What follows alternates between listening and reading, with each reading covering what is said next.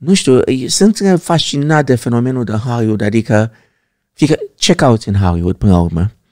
Cauți dragoste la un nivel global. Nu-i de sus să te iubească un om, o femeie, o familie, un oraș, o țară, vrei toată planeta. Deci e o foame acolo. Păi asta e, e o foame acolo care nu există nicăieri pe planetă. Deci vezi oameni care încă bat la ușa show business-ului la 70 de ani, 80 de ani, vezi doamne care încearcă să arate la 20 de ani, că au 20, când erau 50, adică vezi niște vieți pierdute. Uh, și e, e fascinant că atracția asta ține oamenii acolo.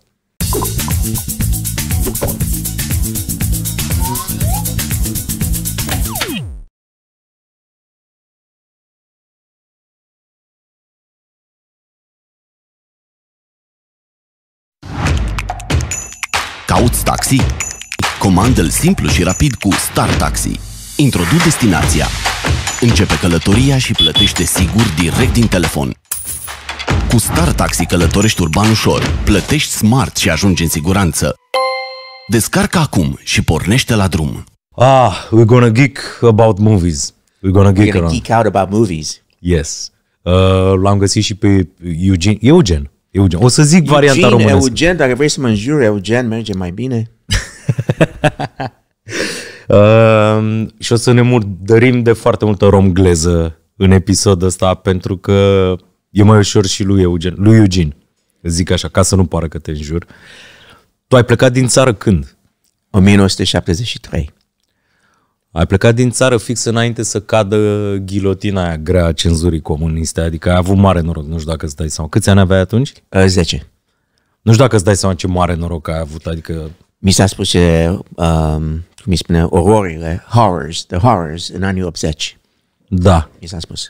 Și în timp ce în anii 80 poporul român se chinuia de foame pentru că un megalomaniac voia să facă casa uh, poporului, tu stăteai și jucai în spitalul de urgență care făcea legendă în... Uh, n-am mai choice, am plecat, eu am fost scos de aici, eu aveam aici o iubită și vo- voiam să stau în România La 10 ani. la 8 ani. La 8 ani, scuze. Ea nu prea știa, adică să fim sinceri. Uh, a aflat în timp că a venit la 18 ani după ea, eram cam târziu, but am încercat. Uh, dar da, eu am fost uh, luat aici, uh, kicking and screaming, cum se spune. Nu ți-a plăcut absolut deloc. Zim exact povestea plecării tale și uh, care era contextul familial, ca să zic așa. Well, ok. Uh, povestea este... Um, unchiul meu, uh, mătușa mea, s-a însurat cu un domn care a devenit unchiul meu, care avea un tată de origine armen. Și au spus în 1965 că ei sunt uh, armeni, cu toate că el nu era, și au putut să plece să, printr-un camp de refugiați din Liban. Prin Liban a ajuns în America, în 66, cam așa. Um, deci în 71-72, cam așa, uh, mătușa mea a aflat că Ceaușescu avea nevoie de bani și vindea pașapoarte la New York. Avea un om la New York, prin comunitatea română. Deci, uh, ea și unchiul meu i-au dat omului ăsta, Ilie îl chema, 10.000 de dolari uh, și nu ne-a dat patru pașapoarte albastre de cetățean român stabilit în străinătate în București. A venit un domn cu de-aia colonel sau nu știu ce era, cu de-aia cu Mercedes, uh, tot venea în vizită la noi, se închidea într-o cameră cu părinții mei. La un moment dat eu mă jucam și el se ducea la mașină, m-a luat de gură și a zis dacă spui cuiva de chestia asta, noi venim după tine. Aveam 9 ani jumate, 10 ani. Deci un colonel din armata română a luat un copil de 8 ani de guleri Da. și l-a amenințat spunându-i dacă vorbești, Dacă vorbești despre de asta, venim, te, te găsim, whatever.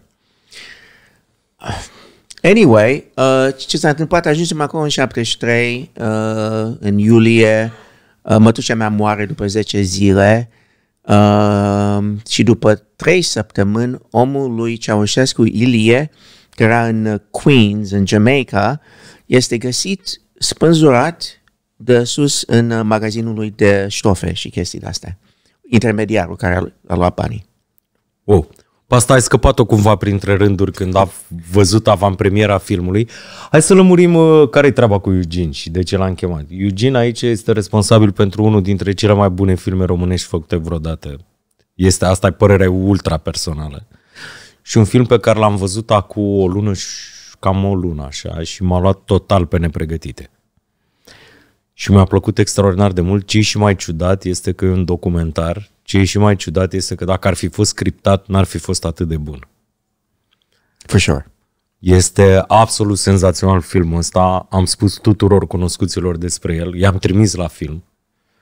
Unii dintre ei s-au dus, alții n-au apucat încă. De ce are o perioadă atât de scurtă de difuzare în cinemauri? Ce s-a întâmplat? Oh, man, ce s-a întâmplat? Uh, primul rând e un film uh, finanțat de mine. Deci n-am fost uh, implicat cu nimeni la început și am învățat că aici, când încep să faci un proiect, trebuie să fii implicat cu oamenii necesari care trebuie, care te ajută să iei bani din stânga, dreapta și alte părți și iau și ei bani cu ocazia asta. Dacă vii cu el deja făcut, uh, oamenii nu prea sunt interesanți și recepția poate să fie cine dracu ești tu și ce vrei. Viești în America, ce ai venit să ne iei nouă uh, oportunitățile? Cam asta a fost uh, recepția industry-wide.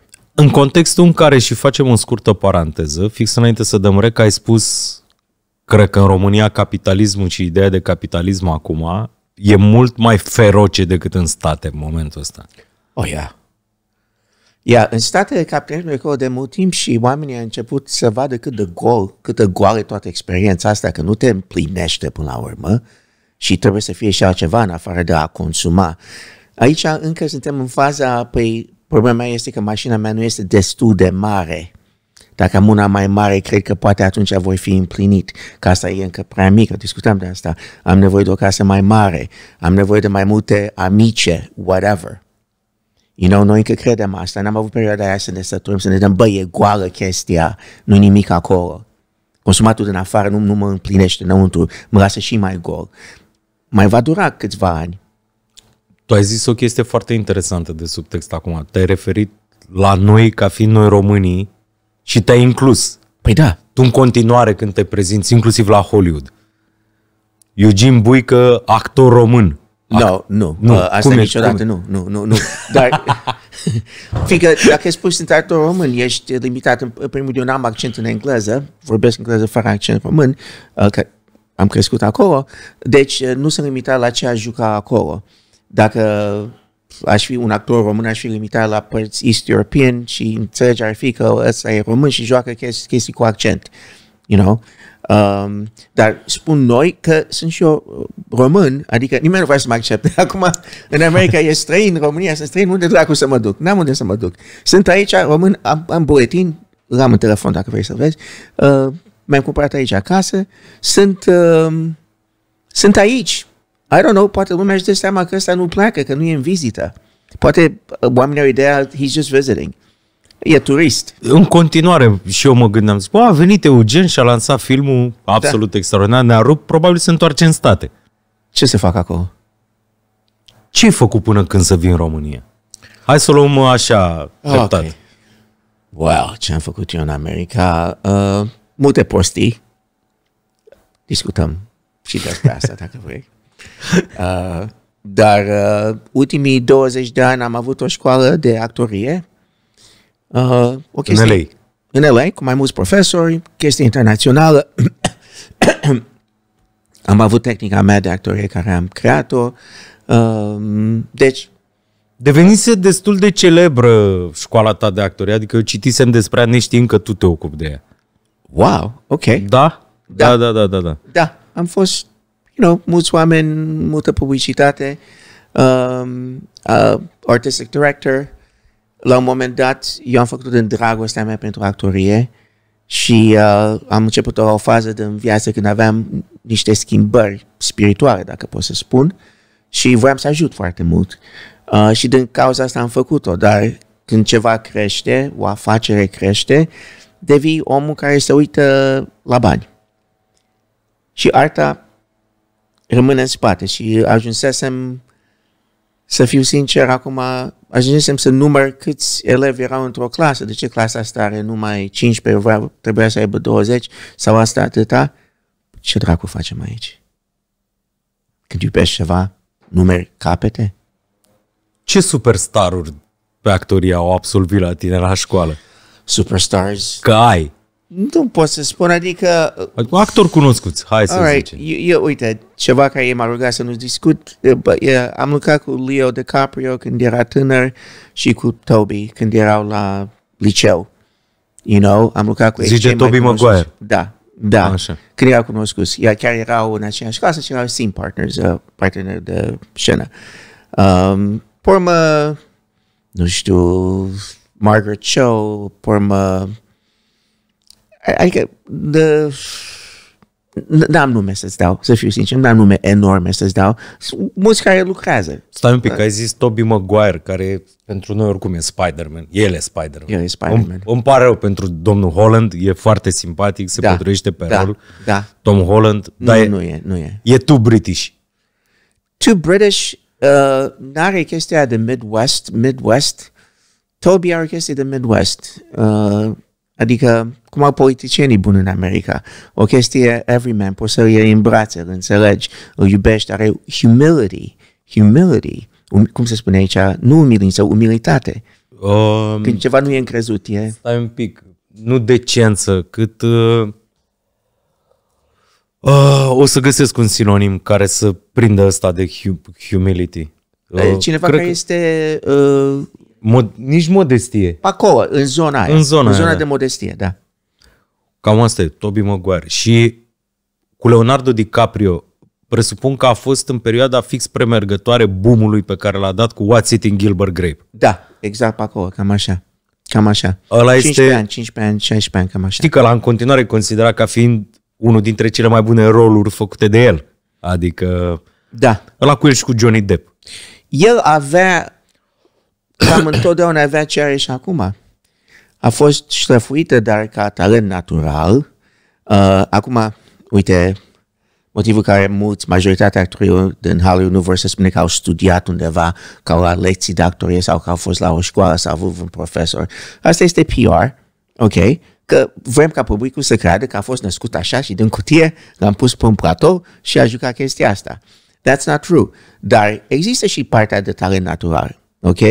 Uh, Leo a- are un talent care era atunci și este și acum you know, e același degree of, of talent. Nu a venit un actor mai bun că s-a maturizat, dar uh, the raw material era aceeași. A apucat să vezi Killers of the Flower Moon? L-am văzut. A scos Leonardo DiCaprio alt personaj din pălărie, de niciunde, out of nowhere. A devenit excelent. Uh, a devenit chiar uh, matur și excelent și uh, Once Upon a Time in Hollywood, ai văzut? Normal. Ok. Este unul dintre filmele mele preferate din ultimii 10 ani. Ha, me M-am too. certat cu oamenii, da. De ce? De ce te-ai certat? Pentru că s-a așteptat la cu totul altceva de la Tarantino. Ok. Și am zis, bă, voi nu înțelegeți zona de poezie pe care o are. Da. Acum, apropo, intrăm în, uh, pe felia de Geek Around Movies. Yeah. Mi-au dat lacrimile pentru prima dată când am văzut simbolistica personajului interpretat de Brad Pitt, care era dublura cascadorului lui Leonardo DiCaprio. Și era omul din spatele actorului, care după ce l-a lăsat acasă, s-a suit într-o mașină în care nu-ți venea să te urci. Trece prin toată partea glamuroasă a Hollywoodului, a LA-ului și se vede cum uh, se degradează peisajul de din afara mașinii treptat și ajunge la rulota unde locuiește, rulotă care era în spatele unui ecran de cinema. Deci omul din spatele actorului locuia în spatele ecranului de cinema și mi s-a părut extraordinar. Aia, când am văzut unde locuie și că este în spatele ecranului de drive-in, am zis, băi, totuși ce mare artist e Tarantino. Adică, Și are un ochi, are un ochi. Uh, uite, ni- nimeni nu vorbește de asta, adică asta ce este Hollywood, ok, în Screen Actors Guild, sindicatul de actori în care sunt și eu, uh, avem 97% șom- șom- șomaj, șomeri. 97% unemployment, 3% muncesc. Ce fac ceilalți 97%? Păi stau într-un trailer în spatele unui cinema. în continuare. Asta e Hollywood, man. Asta este Hollywood. Aici îmi pare rău, uh, actorii români care spune, domne, uh, trebuie să fac reclame. What? Cineva te plătește să joci în ceva, ok, ca actor și să mănânci o pâine din asta nu e ok? Vrei să știi câți actori talentați cunosc eu, care sunt chelneri sau lucrează pe la telefon sau lucruri de-astea? You know? Acum, aproape nimeni nu lucrează. Este foarte rar și foarte greu să lucrezi o dată pe an. Adică și mie mi s-a întâmplat. Am avut ani când uh, eram actor, lucram de două ori, trei ori pe an. Ok, făceam o reclamă, de exemplu, și am o sumă mare de bani, puteam să mănânc, you know? Dar eram uh, grateful, uh, recunoscător, ok, pentru orice. Um, aici actorii au o viață cu toate că să plâng foarte mult, ok, și asta nu are de-a face cu talentul lor, dar să fiu recunoscător, că nimeni nu ne-a cerut să fim actori. Nimeni a spus, eu nu vreau să fiu om normal, să lucrez într-un birou, eu vreau să fiu, să se uite lumea la mine. Who asked you to do that? Ce ți-a spus să faci? Asta tu ai ales ok? Well, that's the price you pay. Ok? Fiindcă nu e o chestie, uh, așteptăm meritocrație în actorie și în show business. E o diferență între merit. Se face și o confuzie între meritocrație și egalitatea de șanse, să știi. Exact. Equality of chances. Da. Adică este. E, da, asta din nou e, e cu tot o altă discuție. Uh, spusese o chestie legată de, de actorii români și um, mi-a sărit ideea, dar vreau să mă întorc la asta și la partea cu Once Upon a Time in Hollywood și cu Leonardo, Ok, sure, și cu sure. Leonardo DiCaprio. Ce voie să zici de Once Upon a Time in Hollywood și legat de Leonardo DiCaprio? V- Vreau să spun că el uh, a ajuns la o maturitate și o... Uh, am, uh, he had a lot of anger. Întotdeauna a avut mult anger, cum îi spune, anger, anger. Furie. Furie, dar de desubt furia sunt niște chestii, niște perle, niște chestii bogate, cam, cam la toți. Furia este primul strat, dar avem atât mai mult de oferit uh, și uh, cu timpul, cu durerea, cu experiența vieții, mă gândesc la scena aia care o are cu fetița aia, știi când uh, repetă cu fetița aia acolo? Um, e excelent, adică eu nu pot să-mi iau ochii după, I can't take my eyes off of him. Great Ultima fucking acting. Great fucking acting, man. Te ține. Te ține. Dar ăla e conflict, adică ăla e, monolog, ăla e un monolog. Da, e un monolog. Ăla e un monolog, de Da. fapt. Adică Și ca, ca o fetița- scenă, dar e monolog. Este monolog azi. Ac- Acolo îți dai seama. Eu sunt foarte curios de cum o să-și încheie cariera de regizor, filmmaker Tarantino cu The Critic. A- Ai, ai văzut ce film pregătește acum? The Știu, Movie e Critic. ultimul, dar crezi tu că omul ăsta poate să se oprească? Ăsta e dependent. Cum, poți, cum să se oprească el? E ca uh, aer, ca apă pentru el să facă filme. E foarte ciudat. El tot vorbește de ideea asta, de cât de important e the body of work. Da. Și zice că toți regizorii, la un moment dat, pierd acel jonen secual. Tot de exemplu pe uh, Hitchcock, care a făcut niște filme spre sfârșitul carierei, nu atât de memorabil. Ok. Bun. Pe de altă parte avem contraexemplu Martin Scorsese. Scorsese. Că am tot văzut cum se plânge că nu-i pronunță numele corect lumea. Că Da. e cu S, Scorsese. Și... Dar Martin Scorsese e o anomalie. Dacă cinemaul american s-ar întrupa într-un om, într-un singur om, care să reprezinte ce înseamnă cinemaul american, cred că ăla ar fi Scorsese. Foarte posibil, dacă vorbim de anii 70 încoace, but for sure. A existat vreo decadă de când s-a apucat de făcut filme în care să nu scape câte un film memorabil? Cel puțin. Anii 70, nu. Anii 80, nu. Anii 90, nu. Anii 2000 ar fi Departed? Ăla e în 2000, că 2008, 2000 și un pic. E uh, tot cu Leonardo DiCaprio și Tot Jack cu- Nicholson, nu? Da, da, da. Dar știi că The Departed este tributul pe care l-a adus Scorsese cinemaului japonez. Ok. Pentru că este luat după un film japonez care e o trilogie absolut extraordinară care se numește Infernal Affairs. Ok. I don't know that. E un fel de remake alea trei filme comasate într-un. Dar eu când am văzut The Departed pe cinema, Right. ca să folosesc o expresie de asta românească, efectiv mi s-a rupt apa. Da.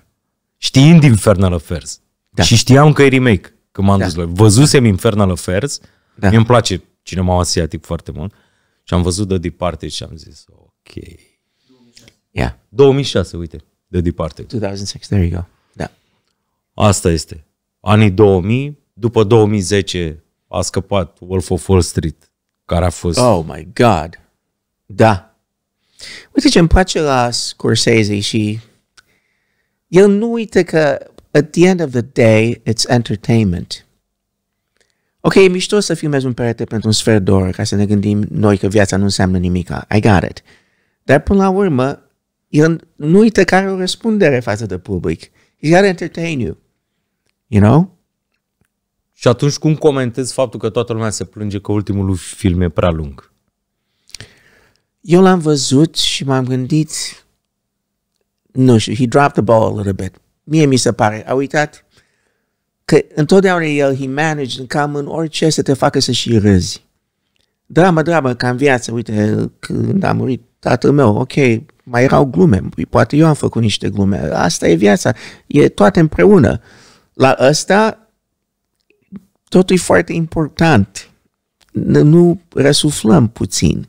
Și asta îl face to feel că e prea lung. N-ai râs la secvența în care indiencele bârfeau bărbații americani, bărbații albi?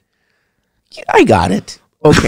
Dar nu e on par cu humorul Scorsese. A- Adică, yeah, yeah, that's funny, but still, you know, da, și eu a, f- a fost cam atipic, adică n-a really, sp- parcă nu știu ce să spun despre el. Nu e filmul meu favorit al lui Scorsese, to be honest, Nu, să fiu sincer. Nu, nu. You know? Ți-a plăcut mai mult Killers of the Flower Moon sau Irishman? Hai să le luăm așa. Păi Irishman, I don't know, Irishman.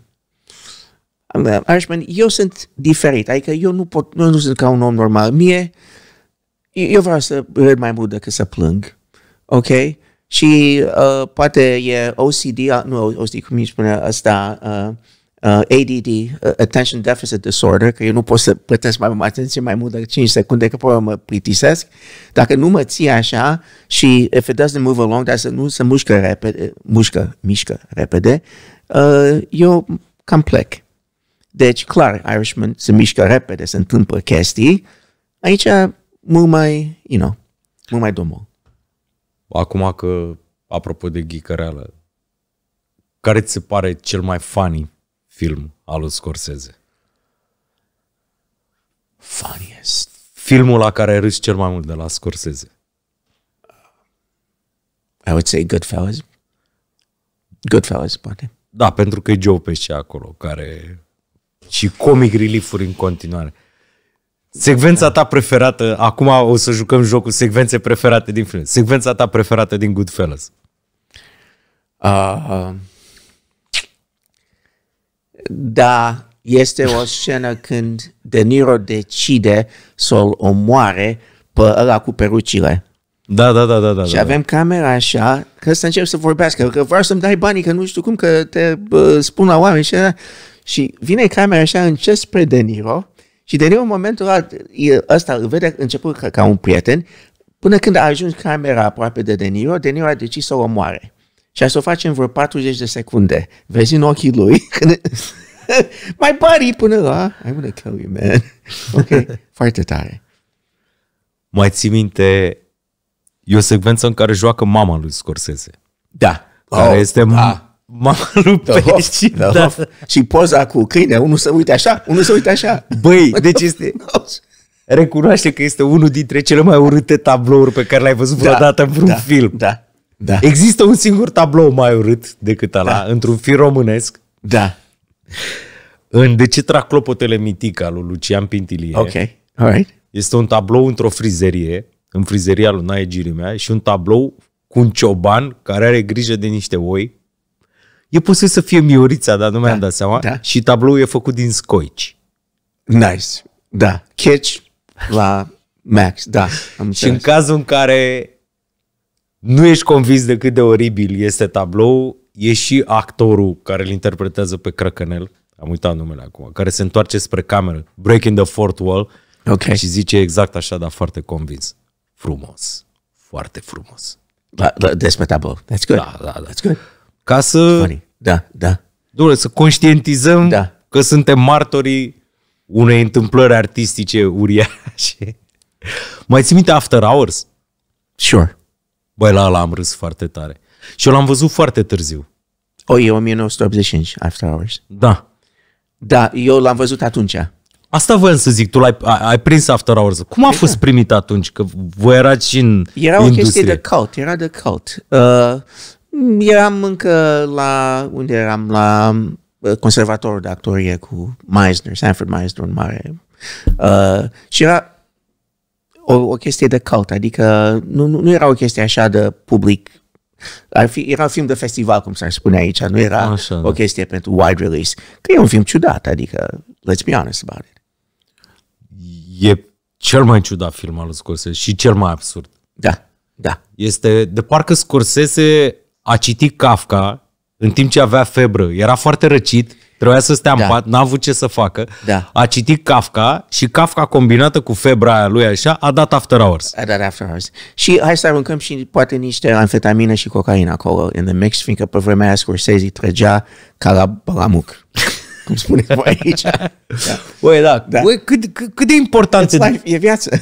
Asta zic, da, e viață. Cât de important e asta cu drug culture-ul în, uh, în, în showbiz și în showbiz-ul american? well, în anii 80 și chiar 90, orice meeting aveai cu un agent, îți spunea o linie și pe urmă discutam.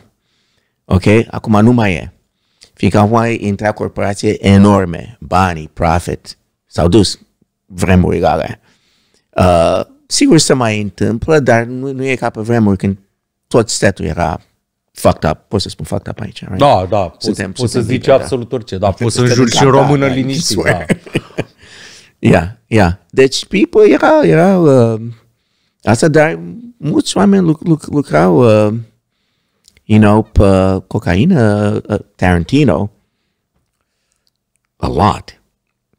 Aici, uh, Kill Bill a fost făcut pe amfetamină, n-a fost deloc, uh, nu s-a oprit. The whole time.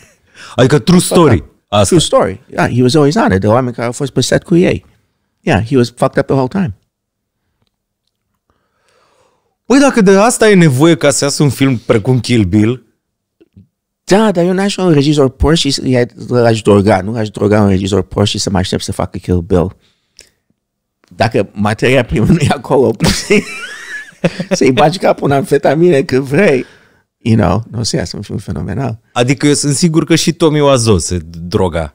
T- Tommy Wiseau, The Room, știi The Room? Oh, yeah, da, Legendarul Tommy Wiseau, da. Care la un moment dat uh, agentul lui, probabil ca să facă mișto de el, l-a trimis la o probă de casting la nou Star Wars. Da. Și există casting, cred că îl, îl poți găsi și pe internet. Tommy Wiseau dând probă pentru Star Wars. Da. That's funny. That's funny. Și că nici acum cred nu se știe din ce țară vine, că avea accentul ăsta și nu vrea niciodată să spună. Dar n-au umblat, n-au, n-au umblat legende prin industrie despre Tommy Wiseau după ce a, apărut, după ce a devenit cult The Room? Uh, I don't know, unii spunea că era ceva polonez sau pe acolo, Eastern European, oricum. Da, da, da. da. De aici. Cum? De aici, Da, din da, zona da, da, asta. da, da. da, da, din partea asta, dar este, nu știu, sunt fascinat de fenomenul de Hollywood, adică, fică, ce cauți în Hollywood până la urmă? Cauți dragoste la un nivel global. Nu-i de sus să te iubească un om, o femeie, o familie, o- un oraș, o țară, vrei toată planeta. Deci e o foame acolo. Păi asta e, e o foame acolo care nu există nicăieri pe planeta. Deci vezi oameni care încă bat la ușa show business-ului la 70 de ani, 80 de ani, vezi doamne care încearcă să arate la 20 de ani, că au 20, când erau 50, adică vezi niște vieți pierdute. Uh, și e, e fascinant că atracția asta ține oamenii acolo. Apropo de vieți pierdute și ne întoarcem la filmul tău. Sigur. Mrs. Buică e un film despre vieți pierdute, de Absolut. fapt. Da. Vieți aruncate la gunoi. Băi, când realizezi chestia asta, cade totul peste tine ca o ghilotină. E filmul ăsta, e atât, deci e așa un carusel emoțional filmul ăsta, pentru că în primul sfert de oră funcționează planul superficial, da? Ăla în care începem să râdem. Vedem doi bătrânei simpatici care înjură în continuu Nu-ți dai seama dacă se iubesc sau se urăsc. E totul foarte ambigu. Este highly entertaining. Highly entertaining. Thank you. Râzi cu lacrimi. După care începe să te lovească subtextul. Pentru că citind despre tine, eu mă așteptam să fie foarte mult centrat pe tine în filmul. Yeah, și a fost. Uh, vreo 15 cuts din o versiune a fost mai mult despre mine. Până când mi-am dat seama că a cui poveste este, trebuie să întrebi asta tot timpul, că poți să uiți. Și asta în orice film, film feature sau nu, a cui poveste este. E povestea lor. Păi să spun povestea lor, fără să mă bag pe mine ca un fel de, scuze, uite cine am ajuns eu și eu nu sunt ca ei, că eu am făcut ceva cu viața mea și poate mă iertați sau poate mă placeți pe mine cu toate că vin de aici. Deci eu, eu voiam să pun un adevăr pe masă, dar problemă să ies și eu curat acolo, adică să ies uh, ca, cumva superior adevărului ăsta. Păi ori spunem adevărul, ori nu. Dar uh, adevărul fără scuze. N-ai cum să prezinți cu scuze. Că când mă băgam pe mine era o scuză. Și a ieșit filmul ăsta care este extrem de sincer, dar din cauza că e extrem de sincer, de pe la jumate devine și foarte greu. Foarte greu. E un film despre o familie între care membrii nu se înțeleg absolut deloc. Pare că n-au nicio legătură unii cu... Pare că e o pedeapsă divină venită asupra a patru oameni care nu sunt stare să se înțeleagă. Și aici îl includ și pe fratele tău. Relația cu fratele tău care e? De fapt, el a plecat cu voi atunci în anii 70, că... Da, da, el a plecat cu noi în anii 70, uh, s-a întors aici în um,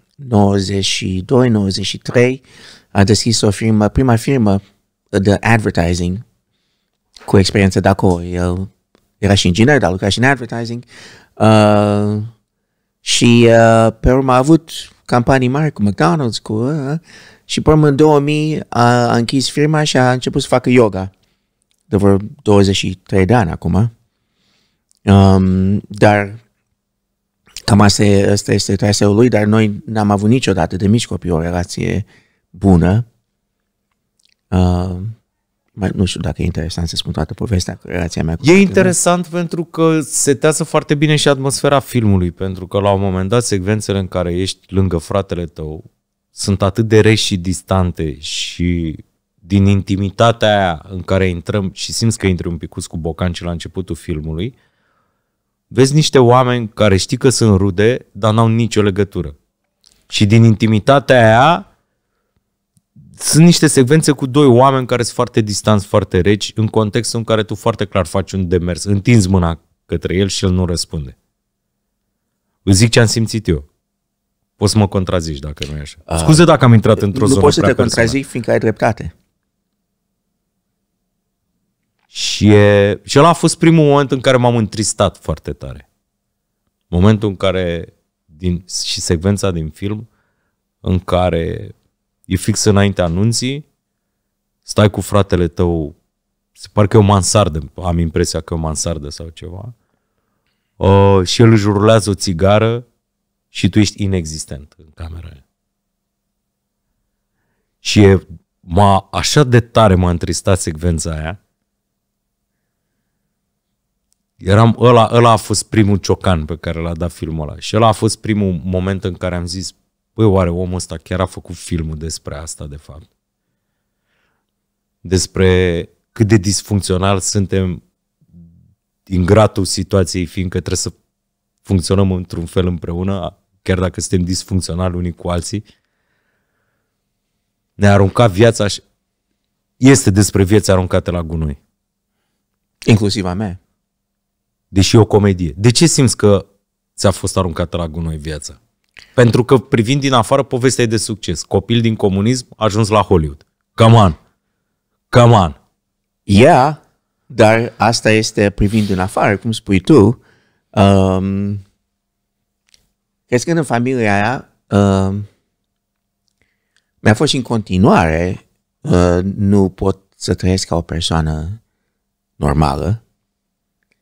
Uh, am avut niște greutăți, niște lucruri de overcome, dependențe, multe chestii, um, reacții la chestii, la viață, la relațiile interpersonale cu oricine.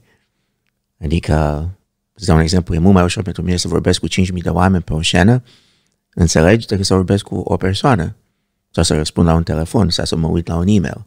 Uh, nu mă vait, nici nu discut chestia asta de obicei, dar astea sunt cărțile care mi, mi le-a dat. Da, eu le joc în continuare cât pot de bine, dar uh, aș alege să poate să fiu născut în altă familie. I don't know. Asta e o problemă cu care ai plecat de acasă sau e o problemă pe care ți-a adâncit-o Hollywood foarte mult? Uh, este o problemă care am încercat să o reglez, să o fac bine cu Hollywood. Dar dacă ai atenție de la oameni și dacă ai succes și este apreciat de cineva din afară, asta nu înseamnă că știi sau poți să ți-o dai asta tu singur. Fiindcă, până la urmă, trebuie de la tine să vină. Ca să nu mai caut în afară soluții externe la o problemă internă, trebuie să învăț să repar mie problemele interne eu singur. Și asta se întâmplă cu timpul. Dar niciodată nu dispar chestiile astea. Sunt cu tine. Ok? Deci, da, poate am exagerat când spun că e viața mea aruncată la gunoi, dar aș vrea foarte mult 20 de ani în viața asta să iau înapoi, să fac niște chestii care de-abia acum apuc să le fac și nu le-am făcut. Fiindcă mi-am pus piedici toată viața mea, m-am, m-am autosabotat. E da, da, da, da, da. Da, da. Aș vrea ăștia 20 de ani, 20-25 de ani. Și atunci care e primul lucru pe care l-ai reparat? Dacă ai primit aia 20 de ani. Uite, îți dau eu 10, îți dă și baboia și încă 10. Facem și îți dăm noi 20 de ani. Primul lucru pe care l-ai face dacă ai primit ăștia 20 de ani. Uh, aș scrie, aș regiza, aș um, face toate lucrurile care e nevoie de puțină încredere în tine. Și când ai auzit bravo uh, până la 30 de ani și chiar atunci când ești pe Broadway sau chiar la televizor, auzi numai insulte, you know? Și am un frate care își spune, uh, ce face frate tu? Uh, e șofer de taxiu. Păi, not really. Aveam o școală, aveam o viață, you know. Dar erai, erai șofer de... El. Aveai un daytime job? Nu, cum tu? Ah, nu, e asta... o minciună. Eu, eu fusesem în timpul conservatorului de actorie, în weekenduri, eram șofer de taxiu ca să plătesc școala. Fiindcă nu mai acceptam bani de la părinți, vreau eu singur să fiu pe picioarele mele. Ok. Dar el, de la 22 de ani până la 50 de ani, n-a vrut să admită că am făcut un progres în viață. Da, apucat să vorbești cu el să întreb de ce? Uh, he's not open to that kind of thing. De ce? Nu spune de ce, nici nu discută. L-am invitat la Parastasul Mamei, care l-am făcut acum un an și am spus să uh, fac parastas, că mă, man, i-am scris. Că nu răspunde la telefon. Uh, I'll catch the next one. Adică îl prind pe următorul parastas. El e în țară acum? E aici? E în România? Da, e în București. Da, da, da, da, e în București. E în București din 92, 93. Ok, tocmai m-am întristat și mai tare. I'm sorry, man, that wasn't... Nu, e ok, dar nu, Doamne ferește. Da. Băi, vă rog din suflet, adică dacă apucați în vreun fel să vedeți Mrs. Buică, dacă vedeți pe undeva Mrs. Buică, duceți-vă la el. Duceți-vă la filmul ăsta, pentru că e... Simt că vorbim un picuț în gol despre filmul ăsta, eu atâta zic. Și repet, o să tot repet ideea asta. Este cel mai bun film românesc de anul ăsta de departe. Și printre cele mai bune filme românești făcute vreodată. Mulțumesc. Ce mă întristează și mai tare este că ăsta e debut regizoral? Uh, ca cinema, da. Ca cinema, da. Dar abia acum. Da, vrei aia 20 de ani. Da, au fost furați. Și nu e ca și cum nu ți-ai fi permis să faci asta literal, strict material. Sau ca skill. Nu e ca și cum nu ți-ai fi permis să faci asta nu, cu 30 de ani sau 20. N-am avut încredere, adică am deschis școala asta și am ajutat mulți oameni, am avut mii de actori care au învățat chiar meserie, dar m-am și ascuns acolo. Fiindcă, uite, am o casă aici, nimeni nu poate să mă atace. Sunt safe aici, la mine, la școala mea. Right? Deci am făcut asta. Am trecut prin multe dependențe, ani și ani și ani și ani, dependențe, droguri, alcool, etc. Refugiu, escapism? Oh, yeah. Sau nevoie de a Big time. umple ceva pe undeva, cumva? Ție sunt apropiat una pe alta, dar este o chestie și născută. Tatăl meu a fost alcoolic, adică e o chestie și passed down from father to son. Uh, dar în același timp, I didn't want to deal with reality. The pain was too much. Just being around. I just didn't want to be here. N-am vrut să fiu aici. Ceea ce are sens și ca alegere profesională, faptul că asta actoria. E, băi, e o nevoie de escapism. Profesional. Da. Care este cel mai de sus punct al tău profesional? Dacă ar fi să zici niște highlight-uri. Domnule, eu profesional sunt definit de următoarele trei momente din viața mea. Ca actor nu pot să spun că am mare mândrie pentru ceva care am făcut. Uh, pe scenă, de exemplu, ni- nici piesele prea mari, piesele mai mici, am avut câteva momente când uh, am ieșit din mine și am putut să văd scena, adică, de exemplu, ca și cum este din conversația asta, o, o să sună foarte ciudat, și pot să, pot să ne vedem, fiindcă eram, atât eram acolo și nu mai eram ego-ul meu, cum îi spune, mai eu meu nu era implicat, am putut să mă detașez și eram simplu, realitate trăită. Am avut momente de felul ăsta. Tu ai jucat pe Broadway destul de mult. Dar nu, nu, nu, nu, nu puțin, uh, uh, spune.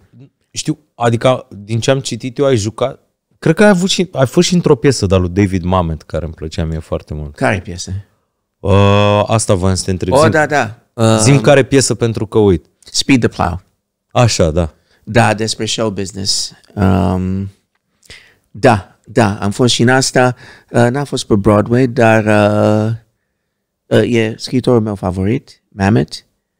Nu cred că în, în teatru, dacă vorbim de teatru, care poate cunosc puțin mai mult decât lumea de cinema, că am trăit mulți ani acolo, uh, n-are cine să regaleze uh, secolul 20 măcar, adică jumatea lui de secolul 20, începem anii 70 până în cam 2000 și ceva, um, nimeni n- nu aude muzica limbii, limbajului, nu știu, the, the, the, the music of language, ca Mamet, înțelegi? Um, eu îl ascult pe Mamet citind cartea lui unor în mașină numai ca să, în o să pun o muzică, pun el citind cartea lui și chiar nu contează ce spune acolo, iubesc ideile lui, dar în același timp uh, să aud muzicalitatea asta, cineva care se prinde. Sunt oameni care se prinde, sunt oameni care nu se prinde, I don't know. Bun. Și acum ca să ghicărim din nou, o să încep de la senzaționala replică Put the coffee down. Coffee is for closers. Da. Tu cunoști sistemul ăsta de aici? Adică Îl cunosc. cu banii, cum merge totul Știu mână în atât de mână. multe subtilități încât mi se face și scârbă la un moment dat. Ok, că eu de-abia mi-am dat seama, făcând filmul ăsta, n-aveam nicio idee. Am sărit într-o de-asta, într-o apă, într-o piscină și pe urmă sunt rechine acolo. Credeam, uite, piscină. Dar nu te mă așteptai not să eu. fie rechin Nu. atât de mare într-o țară atât de mică, Nu este? mă așteptam să fie niciun rechin, mă așteptam să not foarte pașnic, uite, sunt și eu artist, am adus un film aici și ăștia atitudine, păi ce dracu vrei, bă? Asta e atitudinea. Sunt foarte teritorial, mai ales... Da. Ai nimerit în cel mai prost moment în care puteai să vii din afară cu un film de-al tău, pentru că cinemaul românesc a prins gustul banilor acum. I know. Adică vorbim de filme care se bat să sară de pragul de un milion de intrări la cinema pentru o populație de 18 milioane. It's crazy. Dacă am luat asta și am transpune în Statele Unite, ar fi Avengers level money. More. More. More. Fie că te uiți aici, uite, faci un film cu 400, 500 de mii, publicitate încă 300 de mii, ca 800 de mii și ai scos 5 uh, milioane, cum a făcut team building for one, like box office, Da.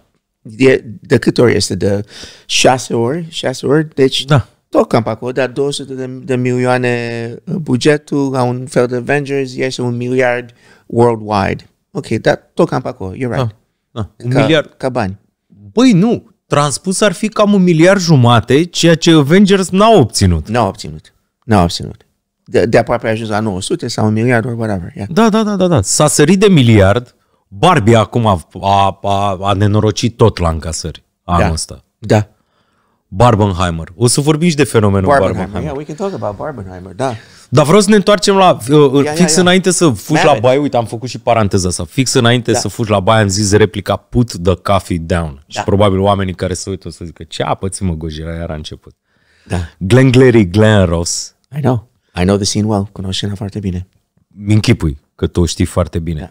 Când ai văzut, tu când ai văzut Glenn Glary, Glenn Ross? L-ai prins atunci? Păi da, când a ieșit, da. Știai piesa de teatru? Da, o știam deja, clar. Dar tu știi că scena aia nu există în piesă?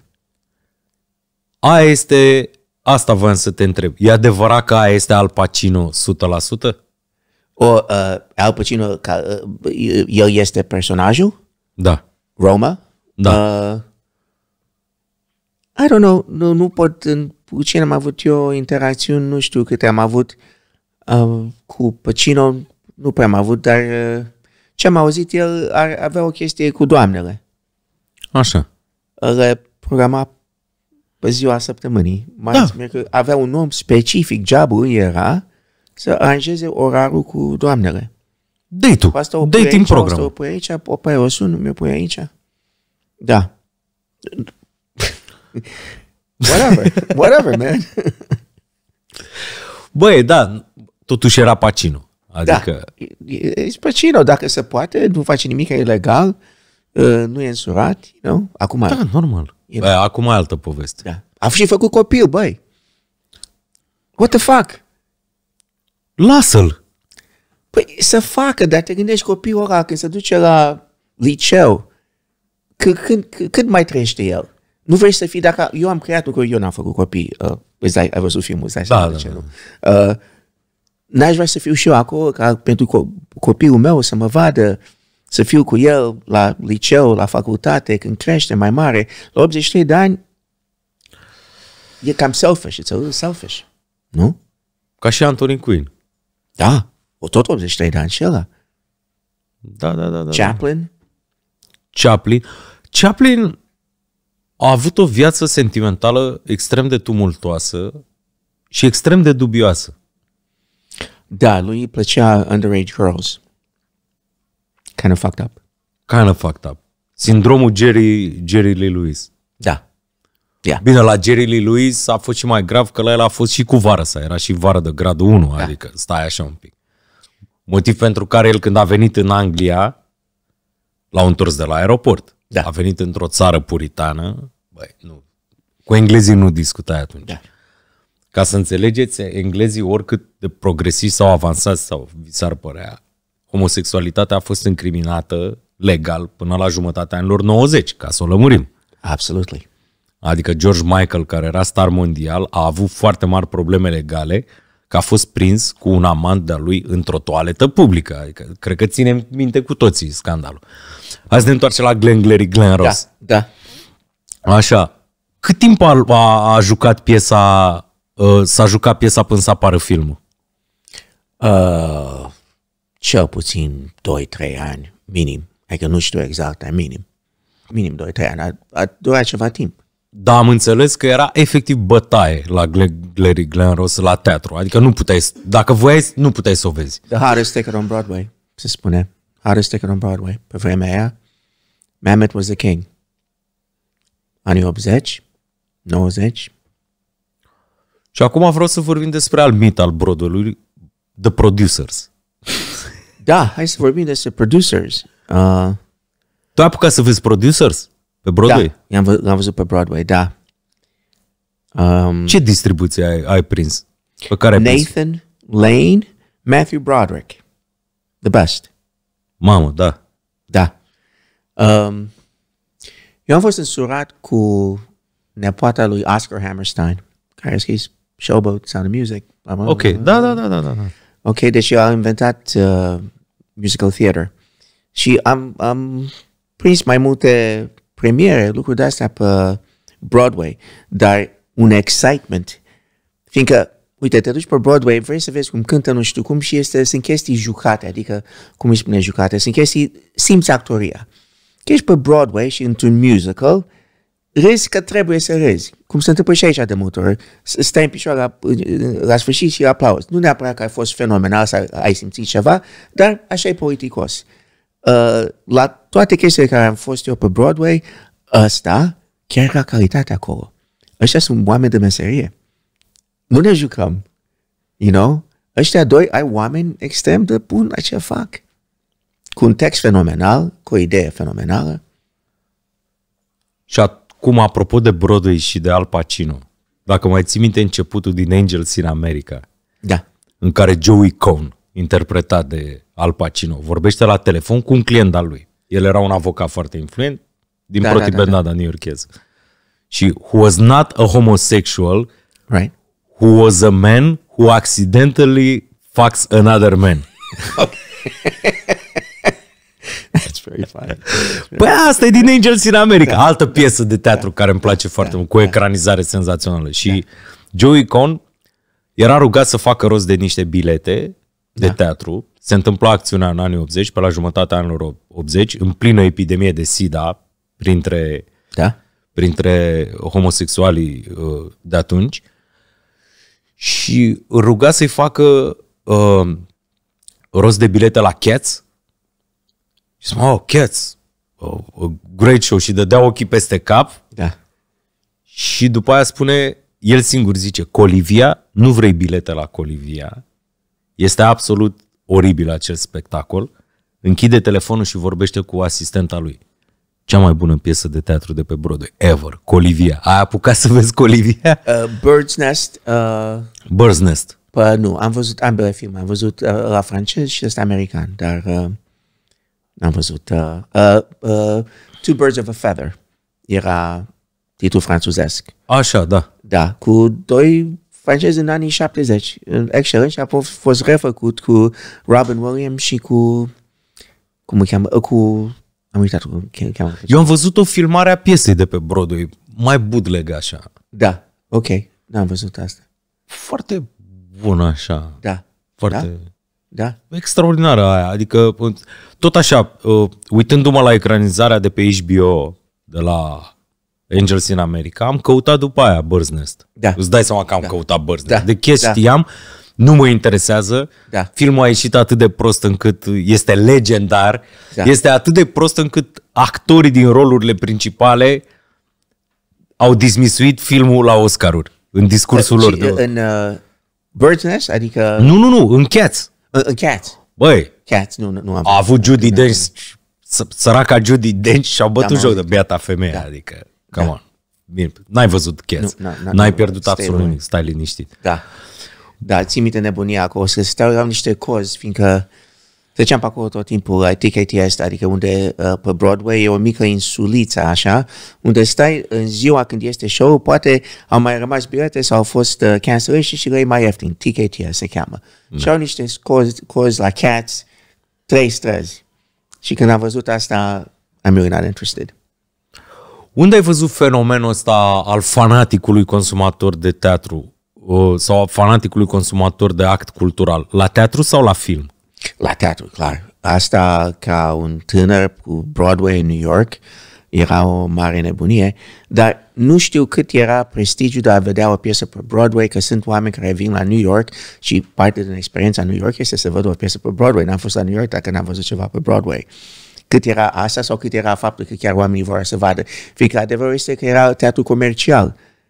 Calitatea nu întotdeauna era acolo. Um, ce am văzut fenomenal pe Broadway, Frank Langella, uh, Frost vs. Nixon. Frank Ok. Langella ca Nixon blows your fucking mind. Ecranizarea lui Ron Howard. Uh, da, De pe piesa... da, da, după piesa asta, am văzut piesa cu Frank Langella și tot ce am predat eu și am văzut, am văzut tot ce cred eu despre actorie, îl vezi pe un om că chiar lucrurile astea sunt posibile pe o scenă. Fiindcă de multe ori când predezi ceva, predezi niște idealuri artistice. Ăsta s-a urcat pe scenă și a făcut-o. Amazing. Amazing. Da. Frost versus, versus Nixon. Nu știam că a fost spectacol de Broadway. Știam că e piesă scrisă. O, da, a fost pe Broadway, a fost și la West End în uh, Londra. Sure. Ok. Ce alte piese de teatru care crezi că ar mai trebui ecranizate? Uite, am vorbit de Frost versus Ni- Nixon, ecranizare. Absolut senzațională. Ron Howard. Da, Ron Howard, săracul, the hardest working man in Hollywood. Da. Multă vreme. da. Very nice guy. Very nice guy. Ai, ai, ai interacționat cu Ron Howard. Nu, nu. But am, am auzit, am auzit oameni care au dat probe pentru el, ce frumos se poartă, stă cu tine, te ajută, hai să mai încercăm, hai să facem, te rog frumos. Te uiți la masterclass-uri. La, uh, da, am subscription și mă mai, m-am uitat, m-am uitat la Sorkin, la scriitori mai mult, ăștia idolii mei pe undeva. Uh, doamne, ce bune masterclass-ul lui Aaron Sorkin. Este newsroom, oricum. That's Uh, another guy, man, you can't touch him. Uite, dacă sunt gelos, nu sunt gelos pe cineva care are un X7, sunt gelos pe Aaron Sorkin, că a fost născut cu talentul ăla. Hai să fim sinceri. you can handle the truth. You can't handle the truth. You can handle the truth. Asta... Sunt foarte multe referințe legate de ce au făcut oamenii Da. ăștia. Adică, Da. vă rog eu, căutați-le că... Îți, îți rămân în, în, în tine, you know? Adică de câte ori am spus eu unei doamne, you want the truth? You can't handle the truth. It's true. Literalmente ai folosit replici din Aaron Sorkin ca să agăți? Uh, nu știu neapărat dacă am avut din Aaron Sorkin neapărat, dar ca să agăți, ca să sun mai deștept decât sun, absolutely. you do what you can, man. Săracul Sorkin, cred că... Crezi că el stă să se gândească că sunt oameni care folosesc citate din scenariile lui efectiv ca să agațe?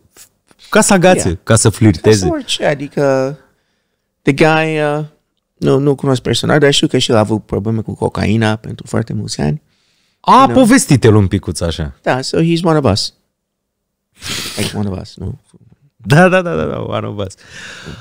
Care a fost primul, primul film care te-a lovit în moale capului? Prima amintire conștientă despre un film la care te-ai uitat și ai spus, ok, mă interesează această formă de exprimare artistică pe nume film.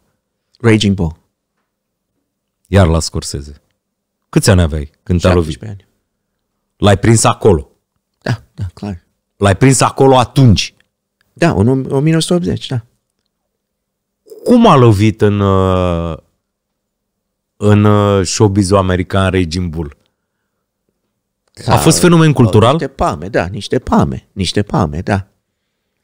Um, da, it was a big deal. Um, și era tot parte de anii 70, cu toate că era anii 80, era 1980, dar din vara din anii 70, când a început uh, uh, regizor să lucreze cu actori mai etnici, așa, italieni, uh, evrei, nu neapărat uh, handsome cu ochi albaștri și uh, uh, ca uite, Dustin Hoffman, Pacino, De Niro, ăștia au început să fie eroi, anti-heroes, you know? Păi hai să luăm anii 80 așa un picuț, pentru că da. Brian De Palma atunci a început. Sure. Mare regizor. Băi, Brian De Palma... De ce crezi că Brian De Palma nu e atât de popular în Europa? I don't know. Uh, nu știu de ce. Știu că el a avut niște probleme. Am uitat exact ce acum, nu pot să-mi aduc aminte specific, că s-a cam mai retras, dar extrem de talentat. De ce n-ar fi N-a, fost popular proble- aici? n-a avut probleme cu fiscul. Come on, ca John Poate, McTiernan. poate, poate cu Cred că cu fiscul. fiscul ceva a avut o Poate chestie. cu fiscul, foarte posibil. Foarte posibil să, să fie ceva așa. Dar popularitatea tu- lui în Europa, cred că poate, nu știu, cum, cumva este cam prea american. Te uiți la oamenii regizori populari în Europa foarte mult. Uh, Woody Allen are o chestie europeană în el, fiind Da. evreu de New York, are un sense of humor, uh, un intelect. Uh, Foarte uh, englezesc. E altceva. Da, uh, da, și englezesc și francez pe undeva, um, whereas ăsta Brian De Palma, purely American. Deși ar trebui să-i mulțumim lui Brian De Palma, ca să le zic și ăstora mici, Pentru că el a dat startul senzaționalei francize Mission Impossible. Ca să o lă... Băi, europenii ar trebui să-l iubească pe Brian De Palma da. pentru Mission Impossible, că de la el Mission vine. Impossible, da. Uh, cunoști show? Uh, Mission Impossible Da, sau... da, Ce show? Mission Impossible, de TV. A, e și show... Uh, Păi ăla, e bazat pe show de TV din anii 70. Ăla 70 Da, eu, Știu eu, de ca el, nu copil m-am uitat. stăteam acolo. Da, da, iubeam când eram copil show ăsta. Um, era un buget mic făcut, dar nu-ți dai seama că n-ai mare așteptări pe vremea aia, dar scris foarte bine, foarte inteligent. Dar e bazat pe show ăla, care a avut un mare succes în anii 71, 72, 73, cam așa. Știu de el, n-a nime, uh, Mission Impossible tot la noi. Ți-am zis, importul cultural occidental în România e foarte bizar. Da, și eu mă uime, sunt uimit la ce ajunge aici și ce... Adică, apropo de cariera ta în seriale de televiziune, că ai jucat în spitalul de urgență, dar ai jucat și în Days of Our Lives. Da, da. Noi știm foarte bine și una și alta. Și tu te-ai mirat. Da, da.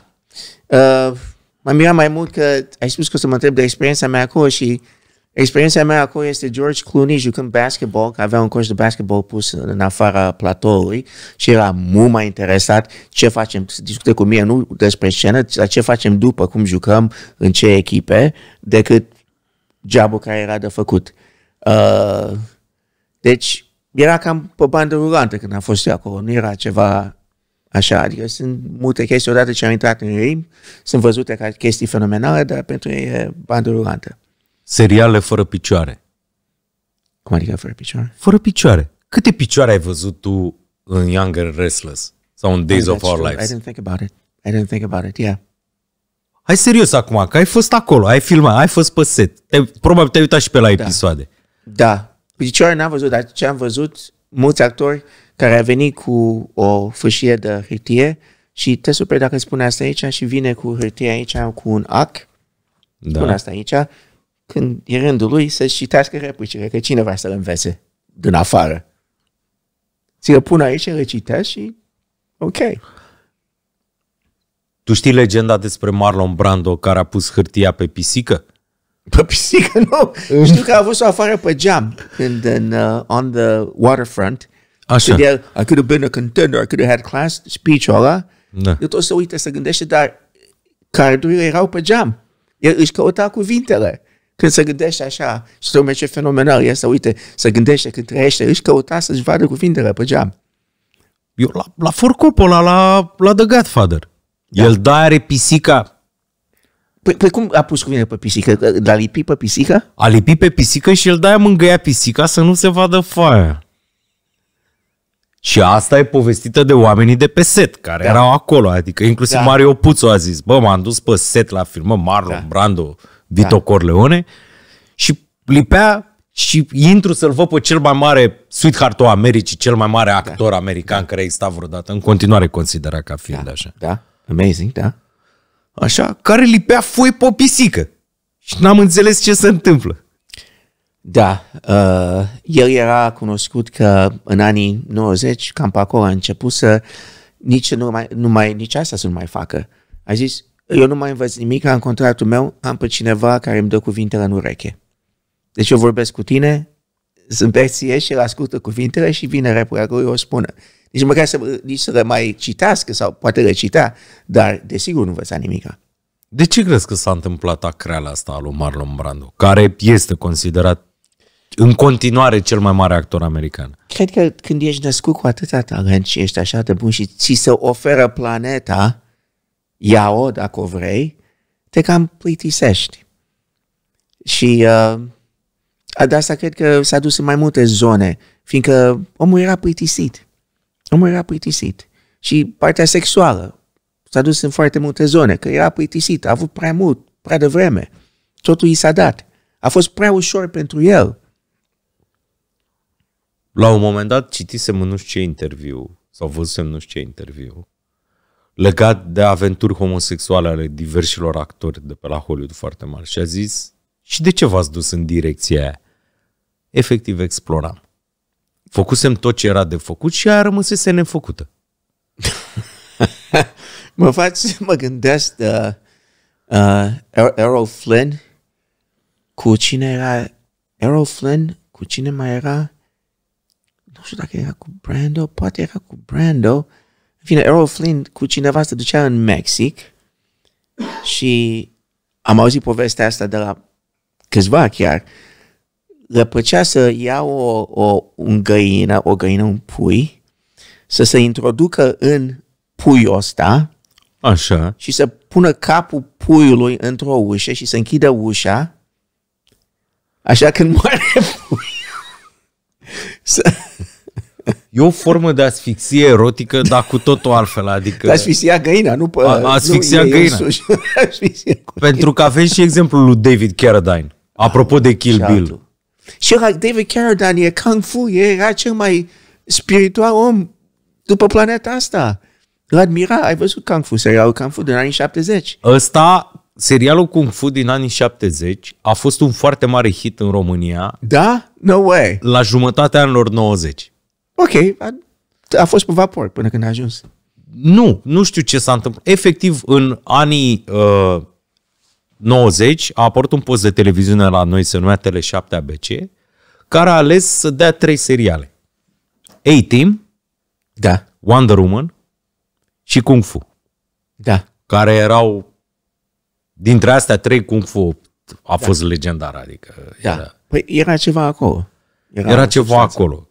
David Carradine, adică Bill, acel Kill Bill, Bill pe care trebuia Uma Truman să, să, Da. Da. să-l omoare. Care a fost găsit în Bangkok sau unde a fost găsit? Undeva prin Asia? Bangkok, într-un uh, în dulap, să își pusese cureaua așa și a legat-o de chestia aia de haine, bara de haine într-un Da. dulap. Într-un act de autoasfixie erotică. La 70 și ceva de ani, 71 de ani mi se pare că avea. Și atunci ne supărăm pe Pacino că face copii la 83. No, go ahead, fă copii, man, fă copii. Fă copii. Dar o să facă și copilul filme despre el. Tata n-a fost acolo pentru mine. Pe de Mr. alt... Pacino, o să-i spune. Da, da, da, da, da. Mrs. Pacino. Mrs. Pacino, mai bine așa. Că nici mai găsa probabil. Adică dacă faci un film despre absența tatălui în contextul în care taică tu este Al Pacino și spui filmului Mrs. Pacino, este un act de frondă și subminare a tot ceea ce a însemnat taică tu, deși poartă Da. numele de Pacino. Da. Eu așa aș face dacă aș fi Asta e copil. Palma, the ultimate. You're not a man. What kind of man are you? Da. Faci copilul 83 de ani. Înțelegem de aici că Hollywood fucks you up. It's very hard not to be fucked up și oamenii care cunosc uh, cu succes în Hollywood uh, au pus pe primul plan familia, uh, chiar viața spirituală, să fie ok, balanced, să nu trăiești în foamea asta. Și atunci respecti demersuri de genul celui al lui Daniel Day-Lewis. Adică că s-a lăsat de tot. Mai vine. Mai vine acum înapoi? Da, dar vine la Paul Thomas Anderson. Uh, m-aș duce și mort la ăla, m-aș duce din, din comă, m-aș duce. I mean, come on. Băi, uh, am tot făcut cu oameni din film, mai ales uh, din filmul românesc și din valul ăsta nou acum. Că o să urmeze un nou val post valul de film comercial de la noi, care să fie filmul ăla artistic, dar entertaining. Încă... E posibil asta? Da, În România e posibil asta? o să fie posibil. Să faci și box office și să ai și o chestie chiar de calitate acolo? Domnule, ai văzut team building? Am văzut team building. Ți-a plăcut team building? Am râs ca un prost. Și oameni care îmi spune, da, am râs și eu, dar nu e un film bun. Dacă ai râs, e un film bun. Fiindcă ai dai un ban, you got your money's worth, man. You pay for something, you got something back. învață-i, având state of mind american, învață-i, te rog, pe român chestia asta, pentru că în continuare a vedea un film și a-ți plăcea o anumită formă de exprimare artistică este ca un act de validare socială. Este un snobism care denotă un primitivism colectiv. Primitivism, în ce fel e primitivism? Primitivism- O, o, ierarhie cu educația, cu Da, toate da, astea, da, da, da, da. Da. I don't know what to say, dar, uh, you know, uh, dacă eu simt ceva, înseamnă că stau. Dacă nu simt ceva, am plecat și am sorry, știu că ai luat 18 premii, dar eu am plecat pentru filmul ăsta, eu, eu nu, nu pot să stau. Fiindcă e, starea mea nu e nici o filozofie de entertainment. E starea mea, nu pot să stau pe un scaun să mă uit la o chestie if I'm not entertained. Și entertain nu e, nu e o chestie rea, este să, să to move me somehow, să și gândesc, dar să și simt. You know? Și aici este dicotomia asta, între dacă am gândit, atunci este bun și uh, poate nici nu merită proștii să vadă filmul ăsta, fiindcă ăsta e pentru cei deștepți și proștii nici să nu vină. Hai să închidem, punem blagăte la cinema, să nu intre proștii. That's horrible, man. That's horrible. And they could do that shit because it wasn't on their dime. Nu era pe banul lor. Era pe banul altcuiva și toată lumea era plătită și ha, ha, ha, suntem superiori, facem filme pentru noi. Right? Dar acum, cum spui tu, este o, o perioadă interesantă. Fiindcă acum, it's a business. Ok? Vine lumea, lumea votează. Se cheamă piața liberă, the free market. Welcome. Bine ai venit. Oameni, ce bine. Ce bine că confirm niște chestii, dar tu venind și văzând cum funcționează piața liberă, inclusiv pe film, de acolo, la prima mână, de la, din America, că toată lumea la America se gândește când vine vorba, mai ales de cinema comercial. Right. Făcând abstracție de faptul că pe cât de sănătos e obiceiul de consum de film în America, deși acum se tot vorbește de câțiva ani de marea decădere a Hollywoodului, și o să vreau să te întreb o chestie punctuală, pornită de la ce a zis Tarantino și mi se pare că stă în picioare un picuț. Așa, dar piața de film independent și de artă american este foarte mare. Este huge. E, e, e mare? E foarte mare, spui. E foarte mare. Ok. Am văzut niște filme independente americane care m-au lovit în moalele capului. Plus că au apărut niște case de producție acum care nu au nicio legătură cu Hollywood-ul și care prețuiesc foarte mult filmul de autor, dau grijă să-l și marketeze comercial. Și mă refer la A24, A24. Oh, yeah. Oh, yeah.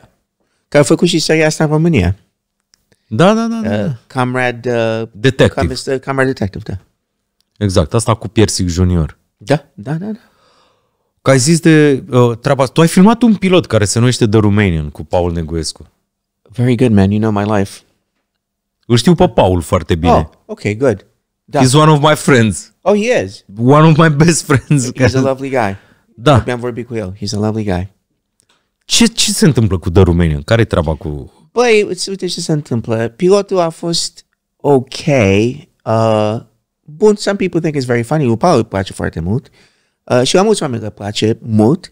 Dar uh, ca să intre la o stație, e nevoie de un buget oarecare, nu enorm, dar ceva civilizat. Ni s-au oferit bugete foarte mici ca să intre la niște televiziuni, care nu puteam să facem nimic cu ele. Singur ar fi fost ProTV, dar ProTV și acolo cum aleg ei ce aleg, nu mă bag, dar aceeași chestie, cine dracu ești tu, you know what I mean? Da. Uh, pe urmă am scris un sezon întreg și l-am care is pretty funny. I have it, un sezon întreg, am 8 episoade. Din The Romanian. Da, care it's funny, it's good. Da. Care-i plotul din The Romanian? Uh, Larry David uh, vine la București. Think about it. Da, that, that neurotic, crazy guy in Bucharest trying to get things done în România. Bai Uh, de în cap. cazul ăsta, Larry David vorbește românește stricat că el fusese născut în România. Larry, da- Larry David, dacă ar veni în București, are nebunii. nu i-aș da mai mult de o lună. He couldn't last here. N-ar putea să facă. Nu poți să-l scoți din environment, e ca un pește, îl scoți din apă, nu poți să-l scoți din apa aia de acolo. I, impossible. Sunt unii oameni care am impresia că în afara New Yorkului n-ar putea să existe. Woody Allen, unul din ei. Exact. Da. Motiv pentru care și când au făcut un film împreună, a ieșit absolut senzațional. Ții Ți-a minte? plăcut? Whatever Works? Da. Come on! Este Ok. printre Alright. cele mai bune comedii Good. scrise vreodată. Despre ce vorbim? Good. Că Larry David nu voia să-l facă, spunea, îți stric filmul, ce să ia un actor adevărat, un sunt actor, e comedian, în fine, dar a insistat și l-a, fă, l-a făcut până la urmă. Um, yeah, uh, sunt uh, evrei din Brooklyn, din anii 40, născuți în anii 40, așa. Și am avut un prieten, cam un prieten foarte bun, că din era aia, nu știu ce s-a întâmplat atunci în Brooklyn, uh, evrei, mulți din părinții lor erau emigranți. E o sensibilitate acolo, un sens of humor, care și eu mă apropii de humor ăla, este, it speaks to me, you know?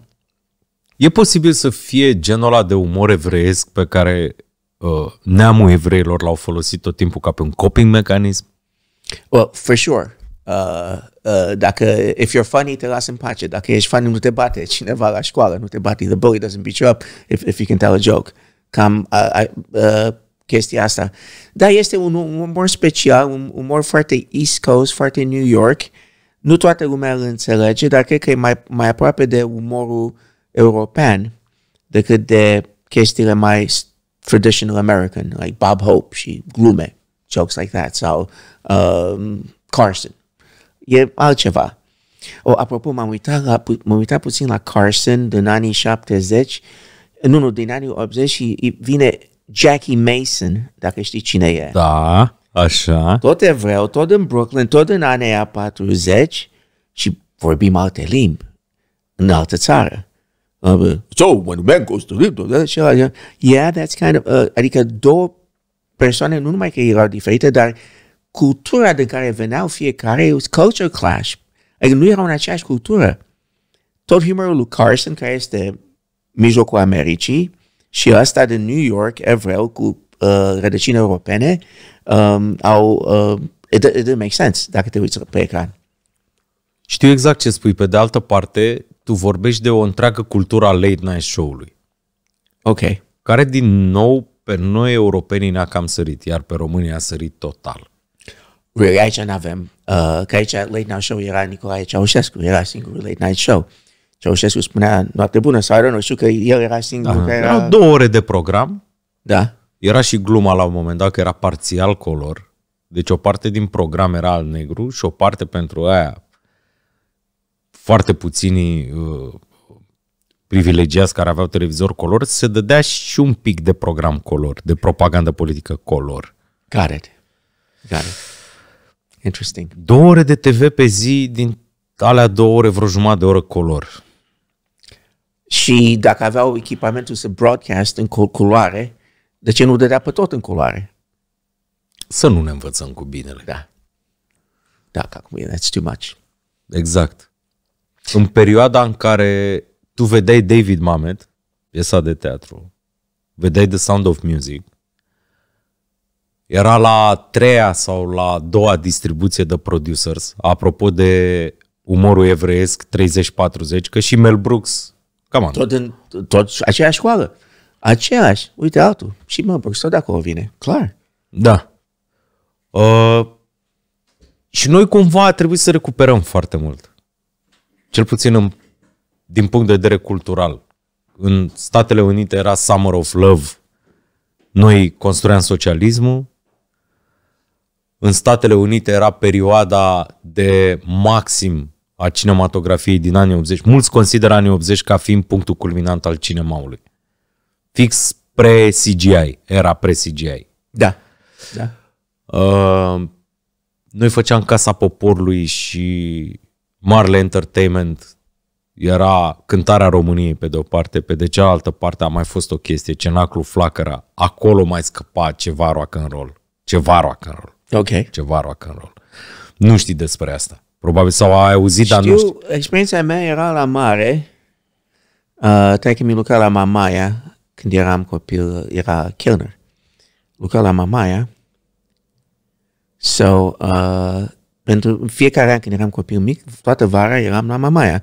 Deci începând de la 4-5 ani, când mi-aduc eu aminte, până la 10 ani, când am plecat, eram la Mamaia, anii 60. Și spun acum, ce țin, ce țin eu minte, era un vibe, 60s vibe. Nu era Summer of Love chiar la 1967 în San Francisco, dar era un vibe așa, un excitement și erau uh, țin minte bands ca Beatles, dar not really, uh, cover bands, așa. Uh, și era o energie acolo care o țin eu minte. Și mașini și străini. Era un fel de un, un, um, o mică primăvară de libertate în anii aia. cât țin eu minte. Știu că în 80 a devenit, sau chiar înainte a devenit oribil. A devenit oribil spre sfârșitul anilor 80, dar și eu, la rândul meu, din poveștile maică mi și din poveștile altora, că eu tot trag de limbă. Că de asta mi se pare foarte interesant cum se vedea lumea din America. Odată ce ai ajuns în America, te-a mai interesat pe tine ce se întâmplă la noi? Very much, man. Uh, da, uite cum am... Eu am învățat cultura română sau am învățat să iubesc România la New York. Ok. Da, la 10 ani am ajuns acolo, clar, eram pe altă planetă, uh, copiii sunt rei, cum, whatever, uh, dar ce f- am început eu să fac de la 11 ani, am început să lucrez în restaurante cu tatăl meu, restaurante românești. So, aveam lăutari românești, cântece românești care nu auzisem niciodată, um, dumneata sau tu, nici eu nu știu cum e mai bine. I don't know. Cred că țin minte. Ok. Okay. Aveam 11 ani și auzeam toată noaptea, săptămână de săptămână, același cântece lăutari care erau veniți din România. Deci, uh, eu am, acum am început să iubesc cultura românească, nu numai asta, dar să am prin cântecele astea și atmosfera de restaurantele astea de expats, de acolo am început chiar să am emoții despre România. Adică puneam Gica Petrescu să ascult și plângeam. Eu nu l-auzisem în România, that's for sure. L-am auzit la New York. Asta mi se pare extraordinar, să te pus să iubești România din altă țară. That's how it happened. Și după ce ai plecat, care a fost, când, când te-ai întors prima dată în România? După 90. Nu, am venit în 81, Oh. fiindcă aveam o prietenă în, uh, la New York care tatăl ei, el, ei vitreg era din Berlin și am fost chiar la Berlin și am spus, mă scuzi, că vreau să, sunt aproape de România, vreau să mă duc în România. Și uh, am primit uh, viză și tot ce era nevoie să merg în România, uh, cu toate că era comunism, am putut să o obțin pe vremea aia ca să o văd pe domnișoară de care ți-am spus eu, care o iubeam la 8 ani, ca să mă întâlnesc cu ea la 18 ani, să vedem ce s-a întâmplat. Poate acum și-a dat seama că eu sunt cel mai tare. You know? Că și ce s-a întâmplat? Nimic, adică ce crezi? Nothing, man, yeah. Când eu eram copil mic, eram la Enescu, eram la vioară, George Enescu, uh, cântam la vioară și aveam planul noi să cântăm, cântăm concerte internaționale, eu la vioară și ea la pian. Asta la 8 ani, 9 ani. Aveam planuri. Eu îi spuneam că Așa. nu crezi tu că ar fi o idee bună sau cum vorbeam eu pe, pe vremea aia. Și am venit înapoi cu niște speranțe, dar ea devenise o, un adult, adică avea iubiți, mergeam cu ea pe Maghieru și se oprește să salută cu un domn de 40 de ani îmbrăcat militar, cu un grad oarecare, să mâinile. Stai puțin, el are 40 de ani, tu ai 18 ani, să mâinile, uh, un fel de flirtation, deci ea devenise o femeie în toată firea. Deci toate visurile mele, că ea fiind inocentă și toate astea, Își continuase studiile la pian? uh, da, dar încercase să se și sinucidă. Ok. da, mi-a plăcut, a venit de niciunde asta. Și domnule, studia la pian, da, în timp ce încerca să se și, și sinucide. Și dar să lăsase pe urmă de pian și cânta numai după suicide attempt. Mi-a arătat 18 ani niște... Very disappointing, man. Uite, uite cum e viața. Ai avut dezamăgire și după ce te-ai întors după 90 în România? Yeah, for sure. Cult- Culture Clash-ul la tine a avut două direcții, a fost bidirecțional. Odată că la 10 ani te-ai dus în New York, copii român fiind altă planetă, după care te-ai întors din nou în România a, după anii 90. Când ai început de fapt să și filmezi pentru, Yeah, pentru documentarul ăsta. da. Și ai avut reversed culture, culture clash un pic. Yeah, fiindcă acum era vis-a-vis așteptărilor mele. It was vis-a-vis my expectations. Așteptările mele era ca să fie ca anii 60, 70, you know, totul în ordine, totul destul de controlat. you know, curat, haosul din anii 90. You know? Care a Și fost primul lucru pe care l-ai observat și te-a și frapat la România? Tristețea. Că uite, deodată aveam oameni care n-aveau nimica and it broke my heart. Oameni care n-aveau nimica înainte, măcar nu erau pe străzi, whatever.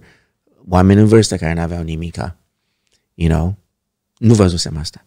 România e un popor de e un popor trist? Ro- popor român e un popor trist? Uh, nu, nu. Avem sensul ăsta de absurd, sense of humor, dar trăim în tristețe multă, fiindcă, I don't know, cum văd eu acum, poate este și efectul ăsta uh, din America, din vest, uh, materialismul ăsta, oamenii care sunt lăsați în urmă, nu numai sunt lăsați în urmă din punct de vedere economic, sunt uitați, like you don't fucking matter. N-ai been vechi? Get the fuck out of here, man oameni în vârstă, uitați. Și cum să fie, cum să se simtă oamenii ăștia? Cum să se simtă? Uh, Our ability ca să spunem la oameni puterea asta noastră să spune că tu nu contezi, that's fucked up. Asta ține fix de maturitatea aia colectivă de care spuneam. De-aia zic că suntem cumva într-o perioadă noi, ca maturitate colectivă, suntem într-o perioadă preadolescentă așa acum. Adolescentă este it's all about us. Eu, eu, eu, eu, eu, mi, mi, mi, mi, mi, să am, să arăt, să fac, să direct, să nu știu cum. You know? Um, da. Where's the love? That's the question. Where's the love? Ăsta este alt subtext pe care îl ai în filmul ăsta al tău, Mrs. Buică. Din nou, Mrs. Buică fiind principalul motiv pentru care te-am chemat aici. Sure. Uh, ar trebui să facem ceva cu Mrs. Buică. El mai stă în cinema în săptămâna asta în care filmăm acum. Eu nu știu când o să dau episodul ăsta. Ok. E cel mai probabil ca episodul ăsta să intre pe canalul de YouTube când filmul nu mai e pe cinema. Ok, deci la anul, probabil. Uh, Aș vrea anul ăsta totuși. Dar, dar, dar, mi-ar plăcea să facem altceva. Dacă mă lași și îmi dai un pic de timp, vreau să organizăm împreună un screening, Happy Fish, cu Eugene Buică, filmul Mrs. Buică cu Funny Happy Fish. Atât de mult mi-a plăcut ăsta, încât a, aș vrea să facem un event de comun acord, la care efectiv să chemăm oamenii la film, să le arătăm, băi, hai să vedeți filmul ăsta. Și bineînțeles, să fii și tu în sală, să facem screen. Am vrut să fac asta cu 40 de ani de Alien, al lui Ridley Scott. Ok. N-am putut să obțin uh, Right, dreptul. da, Ridley Scott în continuare este un om care ține foarte mult la Artist, proprietatea intelectuală, For sure. ca să zic așa. Deși a apucat Napoleon să, apropo de... Nu, nu, nu am apucat, uh, dar am văzut că Miami Beach a făcut dublu vânzările lui Napoleon. Ai văzut Miami Beach? L-am văzut pe primul, al doilea nu. Ai râs la primul? La primul am râs. I'm sorry to say, poate dezamăgesc oamenii Nu, nu, care nu, sunt, nu, lasă, zi uh, tu, mari zi tu. artiști. Eu am râs. I thought they were funny. Da, și eu am râs. Și ce e rău cu asta? spune mie. Absolut nimic. What's wrong with that? Asta tot încerc să... Iar în al doilea, văzându-l pe Danny Trejo care întreabă Buzău, în ce univers ți-ai fi putut închipui? Uite, râs numai că ți-am povestit. Mi-am imaginat imediat, da, da, da. În ce univers ți-ai fi închipuit că Macete o să întrebe la un moment dat într-un film Buzău? Băi, come on, vorbim de Danny Trejo. That's funny shit. Doamne, ce legendă e, e, și, e și Danny Trejo. Da. Ce statut au regizorii ăștia care sunt uh, foarte rebele așa, cum e Robert Rodriguez, Da. spre exemplu? Nu prea am mai auzit de el după ăla cu uh, Grindhouse sau whatever, la filmul de groază. Nu, n-am, nu, Macete a fost după. o, a fost după. Macete a fost după. Ok. Nu, eu n- știu de Machete, dar, dar nu știu dacă am văzut, but uh, I know about it. El a dat, a dat cu, cum să zice românește, mă scuzați, a dat cu pula de masă puternic. Nothing wrong with that. Uh, asta zic și eu. Cu Sin City. Da. Mi-a plăcut Sin City. Sin City, badass. C- Unde, unde ai apucat să vezi Sin City? În LA. Ok, știi unde a lansat Sin City? Rodriguez? La Cannes. Merită ea. Merită aia. Da. Problema este că s-a aplaudat, apropo de ce zici tu, nu din complezență ca pe Broadway, s-a aplaudat sincer vreun sfert de oră după ce a văzut Sin City. Vezi, entertainment, man. You gotta get your laughs. You gotta get your laughs. You know? Uh, Stanislavski a spus asta, cel mai mare și respectat uh, regizor rus de la Moscow Art Theater. Says, in the end, you gotta get your laughs. După ce a scris patru cărți foarte serioase de actorie, you gotta get your laughs. Apropo, când auziți asta, termenul de actor de metodă, method da. actor, Da, da, da. tu știi foarte bine. Metoda, de fapt, se referă la cartea lui Stanislavski, în cele mai multe. Da, la, cere, uh, la prima și a doua carte, mai mult așa, uh, Lee Strasberg, uh, ok, a fost ceva să chema în New York în anii 20, târziu, 30 mai devreme, The Group Theater, uh, care era prin ceilalți, prin Babilus și ceilalți actori și regizori și scritori pe vremea aia, uh, era și Sanford Meisner, care a fost profesorul meu, uh, Lee Strasberg, care este creditat cu The Method și a jucat și în The Godfather, și era și uh, Stella Adler. Și um, Strasberg, uh, focusul lui, fiindcă era un om rece și închis, cum să simțim. Ok? Focusul lui uh, Sanford Meisner, în metoda lui de actorie, care am învățat-o și am predat-o și eu uh, eventual, era pe să reacționezi în moment, să fii prezent în moment ca, și să asculți la ce spun alții. De ce? El fiind evreu ungur, venea într-o familie care nimeni nu asculta pe nimeni, toți vorbea deodată, și de ce? Hai să focus pe ascultat, era pe simțit. Uh, Adler, uh, focusul ei era imaginația. Totul trebuie să-mi imaginez că îi plăcea ea să trăiască în imaginație and so on. Și uh, băieții foarte tineri deja, că era un elev în clasa lui Stella, când ea avea 80 și tu aveai 20 de ani, fi sigur că te invita, invita la o cafea. Uh, Să-ți imaginezi. să, să, ne, să, ne, hai să ne imaginăm că... Să ne clar, mai- așa, n-am da, da, fost da, da, funny. Uh, deci cam asta este, in a nutshell, uh, cam asta um, m- metoda de actorie americană, ăștia trei, uh, Meisner, Adler și S- Strasberg. Tu în care te regăsi cel mai mult? Eu am studiat cu Meisner, el a fost profesorul meu uh, pentru doi ani. Deci, uh, celelalte era prea mult focusul pe tine. Dacă eu stau cu tine acum și mă gândesc la ce simt, mai avem noi ping-pong constant între noi, nu mai este. Ai pierdut ceva. Uh, deci e mult mai important pentru mine să fiu prezent și să răspund și să fiu implicat. Deci Meisner mai mult decât uh, Strasberg. Care e cel mai mare actor din momentul ăsta? 2023, luna decembrie, când zic zim Eugene care e cel mai mare actor, primul nume care îți vine în minte este Joaquin Phoenix. Can't touch him. ok, are sens. De ce? uh, versatilitatea lui, locurile unde se, se, se duce, curajul lui, um, înțe- înțele- înțelegerea lui de personaj, adică și față de Daniel Day-Lewis e mai uscat ca ăsta. Uh, uh, tot ce face are încă viață. Daniel Day-Lewis, când cum a făcut filmul ăla cu, când era, The Designer. Phantom Thread. da, E al lui P.T. Anderson, că tot da, vorbeam de da, el. da, da. N-am fost fan al performanței aia, a pierdut viața personajului.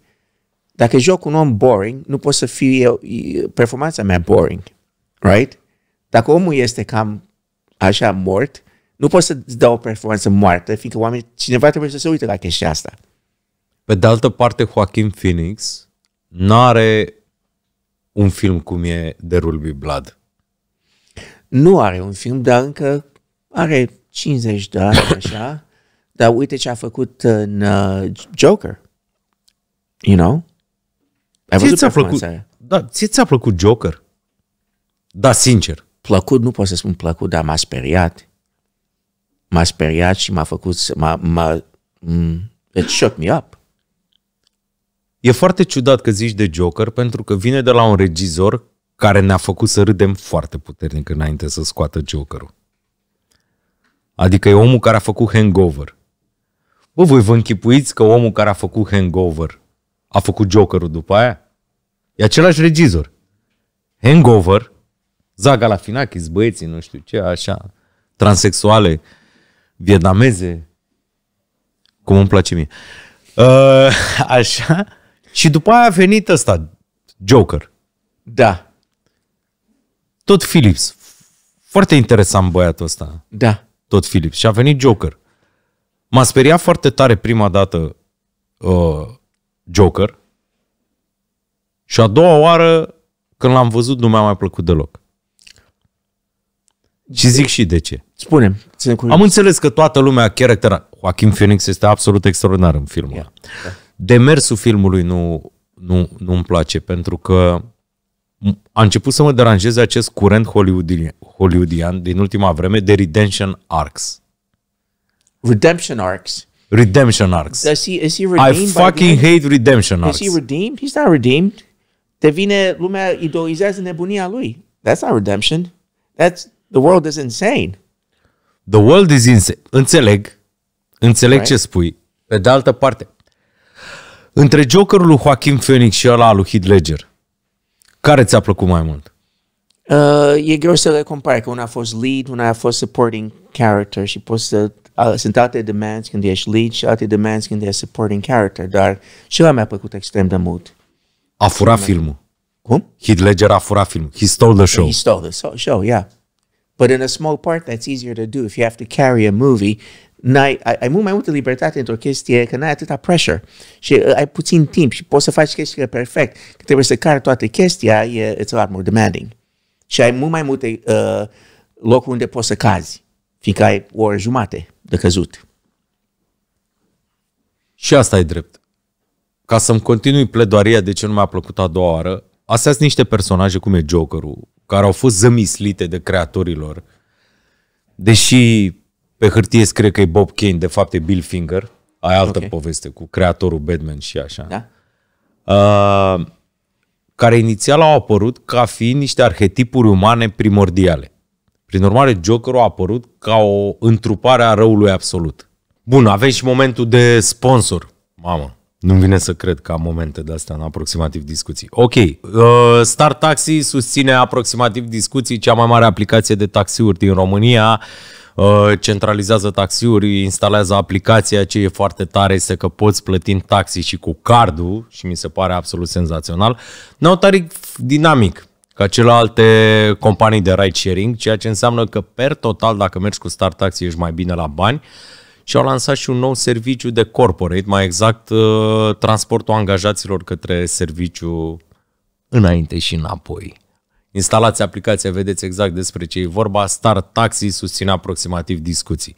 Love back Star Taxi. Asta au fost niște personaje care au apărut inițial ca să fie să înțeleagă niște valori morale copiii mult mai clar și ele reprezintă un arhetip, arhetipul răului absolut. Dacă începi să explici că inclusiv rău uh, absolut, uh, da, ok, pot să înțeleg că are o explicație și așa și că vine de undeva. Pe de altă parte, dacă începi să explici rău absolut, de ce e rău absolut, nu mai are putere de exemplu.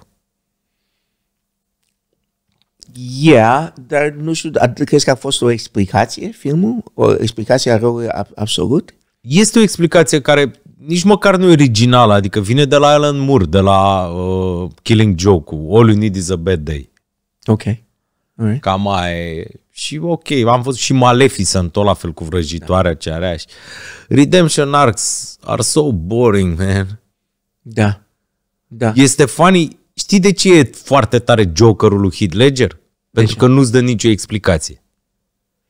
Băi, vine de niciunde nu și te sperie și mai tare.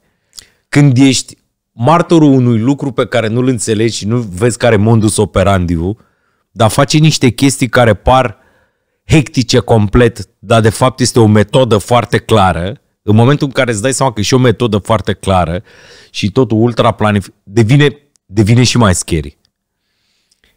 Yeah, adică mie cu Heath Ledger, performanța aia ce a însemna că a fost așa efectivă și scary a fost câtă plăcere avea el în a face lucruri oribile. Câtă plăcere îi dădea lui să facă lucruri care ție îți fac, face rău, adică să omori, să et- et- etc. A- a- Asta a făcut așa de scary. Și înțeleg ce spui despre acalul ăsta, că este Uite, avem un backstory cu mama, cu chestiile, da, e acolo un backstory și poate hai să înțelegem, la asta te referi. Da, da, da, da, da, da. Uh, și he's redeemed fiindcă lumea a, dev- a devenit un uh, cult hero. Deci acolo este redemption. Deci poți să vii de aici și să mergi în, uh, să, să lăsăm evil în pace, dar poți să mergi în, în, în partea asta la altă. Și acolo este de uh, redemption. În, uh, Hai să facem următorul exercițiu uh, de imaginație. Dacă nu se numea Joker, vedeai un film despre un dement care se transformă în erou la sfârșitul filmului. Devine fața rebeliunii tuturor oamenilor nemulțumiți. Uh, it's a comment upon society. Da, dar partidul ultranaționalist nemțesc fix pe asta s-a S-a bazat. bazat. Da. Da. And that's fucked up. Și de-aia nu-mi plac mie chestiile astea. Dar poate să fie și un warning. Uh, uh, un, un uh, uh, cum îi spune, uh, o poveste morală. Adică, look what might happen, right? Și asta, dar uh, The Joker, ok. Noi acum suntem Joaquin Phoenix versus Daniel Day-Lewis, ca să zic așa. Dar hai să ne întoarcem la Paul Thomas Anderson, Da. care a devenit, băi, este legendă Paul Thomas Anderson. În, uh, adică, s- cred că ăia trei regizori pentru care oricine s-ar da peste cap să lucreze cu ei sunt Paul Thomas Anderson, Tarantino, Scorsese. În da. momentul I ăsta. would agree. Da. Da. Deci este, nu cred că e actor pe lumea asta care să nu zică, dacă mă sună unul din ăștia trei, las tot și mă duc imediat. Da. Este Paul Thomas Anderson fiind cel mai puțin cunoscut dintre ei. În România nu e prea cunoscut Paul Thomas Anderson, nu? Nu. Da, și chestiile sunt cam americane. Că uite, el a filmat în Valley foarte mult. Da. În zona în Valley, uh, i-am locuit pentru vreo 20 de ani, nu prea departe unde își filmează el cam toate filmele, ca Magnolia și toate astea. Da, da. Um, deci o chestie foarte California, foarte uh, America, nu, nu e separat. A ieșit puțin, clar, cu câteva A filme. în ieșit, a ultimul ieșit. timp. Dar, Dar explică românilor Licorice Pizza. Ăsta ultimul. da, ok. Ex- și de explicat, it's a good movie. Mie îmi place. It's a good movie. Este Once Upon a Time in Hollywood-ul Da. făcut pe televiziune. Pe, pe TV, for sure, for sure. filmul e splendid, e absolut splendid. Dacă eu, a, fiind român, a trebuit să caut niște referințe de pe acolo. Da. Dar, dar e așa de mm, anchored în cultura aia, nu știu cât de bine travels, călătorește. Aia e marea problemă. Explică românilor Inherent Vice, care e cu Joaquin Phoenix, poftim. Da, da, Explică românilor Inherent Vice. da. Unele chestii chiar îți vorbesc mult mai bine dacă ai trăit acolo. Nu, nu toate chestiile... Uite, uh, am tradus atâta din, mm, din română în engleză. Nu poți să traduci, trebuie să adaptezi. Că nu există echivalent în cultura asta pentru chestia asta și trebuie să găsesc, adică nu există o traducere uh, literară, trebuie să găsești un, un echivalent sau să-l inventezi. Îți dau exemplu invers. Explică americanilor dale carnavalului. I-ai pierdut complet. E context uh, istoric acolo. Avea de-a face și cu ce se întâmpla politic, nu? Aici. Adică, Da. thank you. Uh, sunt chestii uh, universale, dar sau de sense of humor. Hai, fă de la carnaval o comedie în America. Să o traduci. Da, da, da, da. Translate that. Can't do it. It doesn't travel. Una, sorry. It Da, doesn't știu, travel. știu, știu. Explică românilor debutul lui P.T. Anderson, Hard Date. Doamne, ce film e. Da. Hard Date. Care ține de cultura cazinoului. Băi, băi, avem cultura cazinoului online. Acum e și o problemă la noi. mare. Casino Păcănele. Da. Different, different uh, story. Different story.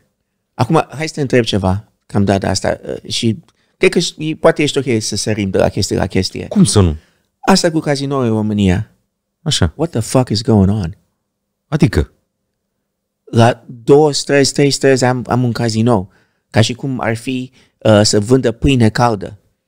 E mai esențial vieților noastre, cazinourile, decât, I don't know, mâncare sau ceva care ne hrănește. dar știi că noi avem o foarte mare problemă cu asta acum. I know, Inclusiv eu. gambling is out, uh, out of control. It's crazy. mai mulți oameni din online-ul românesc au făcut front comun nevorbiți, băi, pe lângă faptul că sunt foarte mult, ăsta e semn de sărăcie.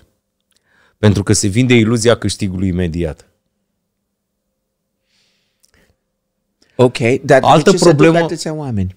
Poftim? De ce se duc atâția oameni? Asta este, iluzia câștigului imediat. Faptul că există chiar și cea mai mică posibilitate de a câștiga mulți bani deodată, îi se duce. Îi se duce iremediabil. Fiindcă foamea e așa de mare să fiu și eu ca ăștia care în toată ziua în fața mea mai arată ce au, cine sunt ei, să fiu și eu cineva. Suntem un popor adolescent. Asta Da, este. e o simptomă cam adolescentă, dar, dar faptul că există, dacă e piața liberă, da. Spui că vrei piața liberă, asta e, oamenii vor să cumpere, trebuie să o dai. Problema este că legea este oricum foarte laxă și foarte relaxată legată de cum se promovează jocurile de noroc la noi. După cum ai observat, noi nu avem legea care e în America cu cazinourile astea care trebuie scoase în afara orașului. Aici sunt, exact cum spuneai, două la scară de bloc. Sunt și foarte agresive ca marketing și advertising. Sunt peste tot. Sunt absolut peste tot. Și fix asta inclusiv eu sunt unul din oamenii care susțin ideea că ar trebui reglementat un pic maniera în care își promovează businessul ăsta. Înțeleg, e capitalism, e piață liberă, e normal, e un business. Dar trebuie reglementat cumva, dat fiind că mersul la jocurile de noroc de 2 ani încoace, conform societății psihoterapeuților, societă- e Organizația Mondială a Psihoterapeuților, au declarat uh, dependența de jocuri de noroc ca fiind o adicție legit, ceea ce e. Este declarat asta în America de zeci de ani, clar. Da, da, da, da, da. E, Acum e și în Europa chestia asta, băi, și trebuie reglementat cumva, adică dacă la țigări am interzis reclamele pe TV și nu mai sunt reclame stradale și așa mai departe. La jocuri de noroc, băi, te duci la Piața Victoriei și te uiți așa pe clădirea mare da. de la Piața Victoriei și sus vezi pariuri, cazinouri, și fizice și online, și videochat. Escapism. Escapism. Și este escapism adolescentin. De-aia zic că mai avem noi un picus de, de crescut așa. Strica mental colectiv. Și stai liniștit, noi stăm într-o bulă aici. Da. Vezi că București nu e ca restul țării. Te duci în restul țării și probabil ai fost. E down the rabbit hole. De fapt, nu e down the rabbit hole. E the downward spiral. Ceea ce e și mai periculos. Vezi, uite, asta mă preocupă mult uh, dependență. Eu am o istorie de dependență, dar am fost la niște programe și de mulți ani Ok, hai să trecem prin istoricul tău de dependență, dacă vrei să vorbim despre asta, pentru că ești în măsură să vorbești despre asta și ești în măsură să dai și niște sfaturi apropo de chestia asta. uh, sfatul nu dau, dau experiența mea. Că Asta sfatul e. nu merită nimic, dar ce am trăit eu, pe pielea mea pot să spun, asta da. Așa, ce ai trăit tu pe pielea ta, Eugene? Da. Ok, uh, droguri, uh, cocaină, crack cocaine, anii 80, um, Smoking crack. smoking crack, da, pe vremea când... Mulțumesc lui Dumnezeu, n-a prins în Europa absolut deloc ăsta. Da. E, asta e o chestie americană care mă bucur că a rămas doar acolo. Uh, dar acum mi se spune că există aici, în București. Venită din Londra. Da. Și că foarte multă cocaină în București sau în România acum. Mi se spune, eu nu fac parte din asta, dar fac parte din uh, programe de recuperare care ajut oameni cu Da, da, da. chestia asta și eu primesc ajutor fiind acolo. Uh, cam a, așa funcționează toată chestia asta. Deci, uh, cocaină, metamfetamină mm, și alcool, totdeauna part of the picture. Gambling, gambling, Gambling e singura care n-am avut-o. Restul tot de care poți să devii dependent, am devenit dependent. You name it, I've done it. Orice care îți dă plăcere, eu am făcut-o la excesiv, adică să scap.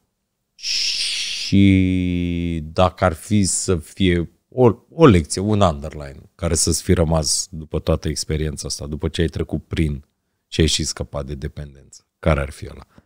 În primul rând, n-am scăpat de dependențe, sunt dependent astăzi la tot, ca întotdeauna, numai că nu le fac.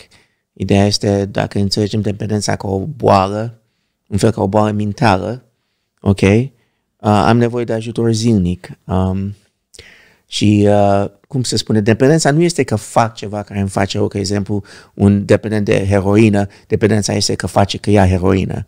Asta nu e dependența. Dependența este boala asta care mă duce mentală, păi am nevoie de heroină ca să schimb cum, cum simt eu, cine sunt eu acum. Înțelegi? Deci nu mai am heroina, nu vreau să nu mai folosesc că mă omoare, trebuie să fac altceva. Deci trebuie să măresc viața mea spirituală într-un fel. Eu am făcut-o prin niște programe de 12 pași, care există și în România de un fel extrem de limitat. Deci în Los Angeles, apropo de stele de cinema unde îi întâlnești pe toți, la programele astea de 12 pași. Deci mă duc... Deci dacă vrei să cunoști staruri de cinema în da. LA, du-te la 12 pași. De la Anthony Hopkins până la toți, acolo sunt toți, de mulți, mulți ani și ok, și o chestie anonimă, n-ar trebui să discut, dar în fine. Um, deci, uh, programurile astea, de exemplu, am 700 la, să spunem, la AA, a alcoolici anonimi, să spunem. 700 de ședințe pe zi în Los Angeles. Oricând mă oricând am 700 de ședințe astăzi, pot să mă duc în 700 de locuri să stau la o ședință să vorbesc cu oamenii mei. Înțelegi? Adică fiecare are o structură, în fine. În România, la alcoolism insane, ok? Special în unele regiuni ale României unde oamenii sunt mai săraci, uh, nu există nicio ședință. În București există o ședință sau unor două pe zi, dar programul e practicat într-un fel care, nu știu cum este practicat, dar există, dar este foarte, foarte mic. Să spunem 50 de oameni în București să ducă la ședințele astea. Maxim. Maxim. So we're talking about a major problem. Mă duc oriunde, în Londra, în Europa. Am fost în China la ședință de felul ăsta. Pe toată planeta, oriunde mă duc, sunt acolo. În România nu sunt. Altă problemă pe care ai observat-o venind din afară la noi, care ar mai fi? Asta cu, cu gambling și, și, și cu faptul că nu avem un control al adicțiilor. Uh, Sau undeva noi. oamenii să se ducă pentru un sprijin. Uh, dacă ești un gambler, ce spune lumea? Păi oprește-te, de ce nu poți? Păi n-ai voință? No, it's a disease. You're powerless. N-ai control asupra chestiei. E o boală. Nu ești rău, ești bolnav, nu ești rău, ești bolnav. Ești doar bolnav. Ești doar bolnav. Și ca un om bolnav trebuie să te ajutăm.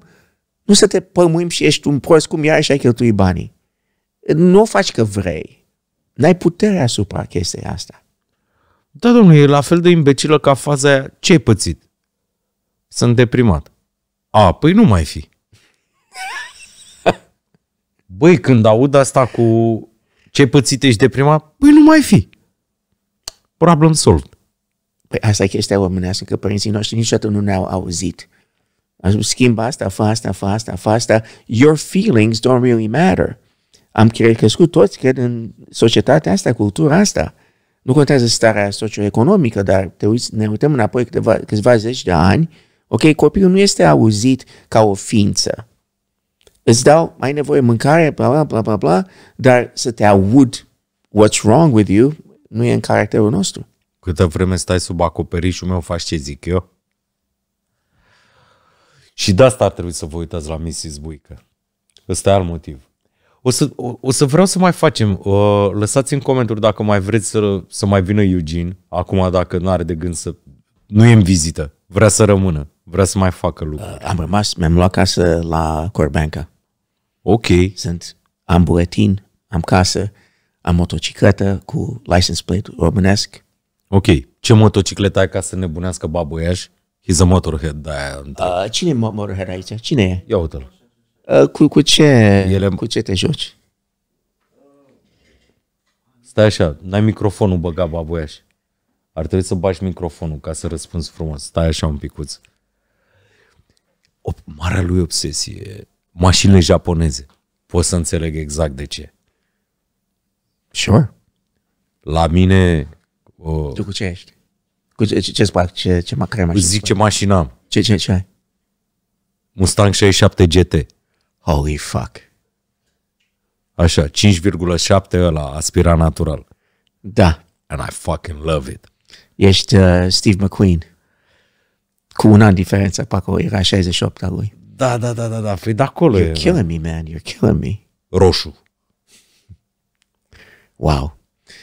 La primăvară vin în vizită. Nu-i mașină de scos iarna aia. Da. Că e făcută da. pentru tânărul californian, ca să o dăm pe aia directă. Da, da, da, da, da. Ai văzut Ford versus Ferrari? De, de trei ori. Ți-a plăcut? D- normal. Ai văzut cum, desființ, cum, cum a desființat Mustang atunci? Da. L-a transmis, l-a luat, l-a atacat din toate punctele de vedere și mașina s-a vândut așa de bine, cu toate că ce spuneau ăia, dar uh, s-a îmbunătățit cu timpul. Era numai în 65, era prima, chiar prima. Aia prima, nu, era chiar 64 era prima. 64 jumate, 64 and a half. Da, da, da. Asta e că uh, la, când îți iei Mustang și literalmente e 64 jumate, de fapt. Da, da. Ăla e modelul la care nici scaunul nu se reglează. Da. Este, da, da, am ales 67. Good for you, man, bravo. Uite, e one of my dream cars, e pe lista mea. E pe lista mea, dar acum una restored se duce la 60-70 de mii, una restored. Eu am restored. fully restored, exact ca în fabrică, pentru că altfel nu-mi dau certificatul de vehicul uh, Da. istoric și este toate taxele ca vehicul istoric maxim 100 de euro pe an. Yeah, yeah. And that's great. That's, that's amazing. Și la mine a trebuit să o restaurez conform specificațiilor din fabrică. Altfel nu primești inclusiv uh, radio este ăla din fabrică și funcționează perfect. Unde a făcut o restoring? Aici, în România? În România, paint job-ul la un dement din Buzău care le face exact cum le fac americanii. Ok. Și la motor a trebuit să stau să caut până la... Am găsit pe cineva în București care este absolut obsedat și numai el a putut să-i dea de cap motorului, să-mi regleze motorul la 600 de turații, să capăt bolboroseala aia de V8. V- de- Ai un uh, 5 uh, e, e uh, 5-0 motorul? 5.7 V8. Ăla. Îți ară filmul imediat. Ăla e ca uh, Chrysler astea uh, Demi sau cum se cheamă alea? Tot Da, da, da, da. 5,7, da. Că Eu cred că te gândești la uh, Dodge Charger Da, Hemi. da, da, Hemi, Hemi, sorry, Demi, Hemi. Hemi. Hemi, Hemiul, Hemi, da. Hemiul de la Charger. 5-7, da. Ăla este, 5.7 care e, nu e big block. Mare Nu e. atenție. Ok. Nu e big block, dar e aspira natural. Zibaboiaș, Motorhead. Așa că ce vorbeam. Ăsta e. Uh, mie îmi plac astea, astea de stradă. Nu cred că uh, dacă ar fi să pun degetul undeva, ar, ar fi Hayabusa, bineînțeles. Man. Da, ești Da, da, am- Adică nu vreau să, nu te cunosc, dar Mă întind poți să până- mori pe aia, adică poți să mori. Adică, Știu, da, da. O singură dată m-am suit pe Hayabusa, urăsc two wheels-urile pentru că mă simt foarte în pericol pe el. Mă simt, ești, ești. Tu presupun că ești clasic, ești, Har, ești Harley, ești în zona Triumph, Nu Harley Harley. Davidson. Uh, Triumph am avut de toate. La un moment dat aveam șapte motoare. Fiindcă venind în copilăria care ai, ai văzut-o, plăcerea mea era să vin acasă să alerg de motoare. Uh, deci l- l-am avut pe toate. Am avut uh, englezești, uh, uh, am avut uh, un Japanese metric cruiser. Harley e singura care nu am avut-o.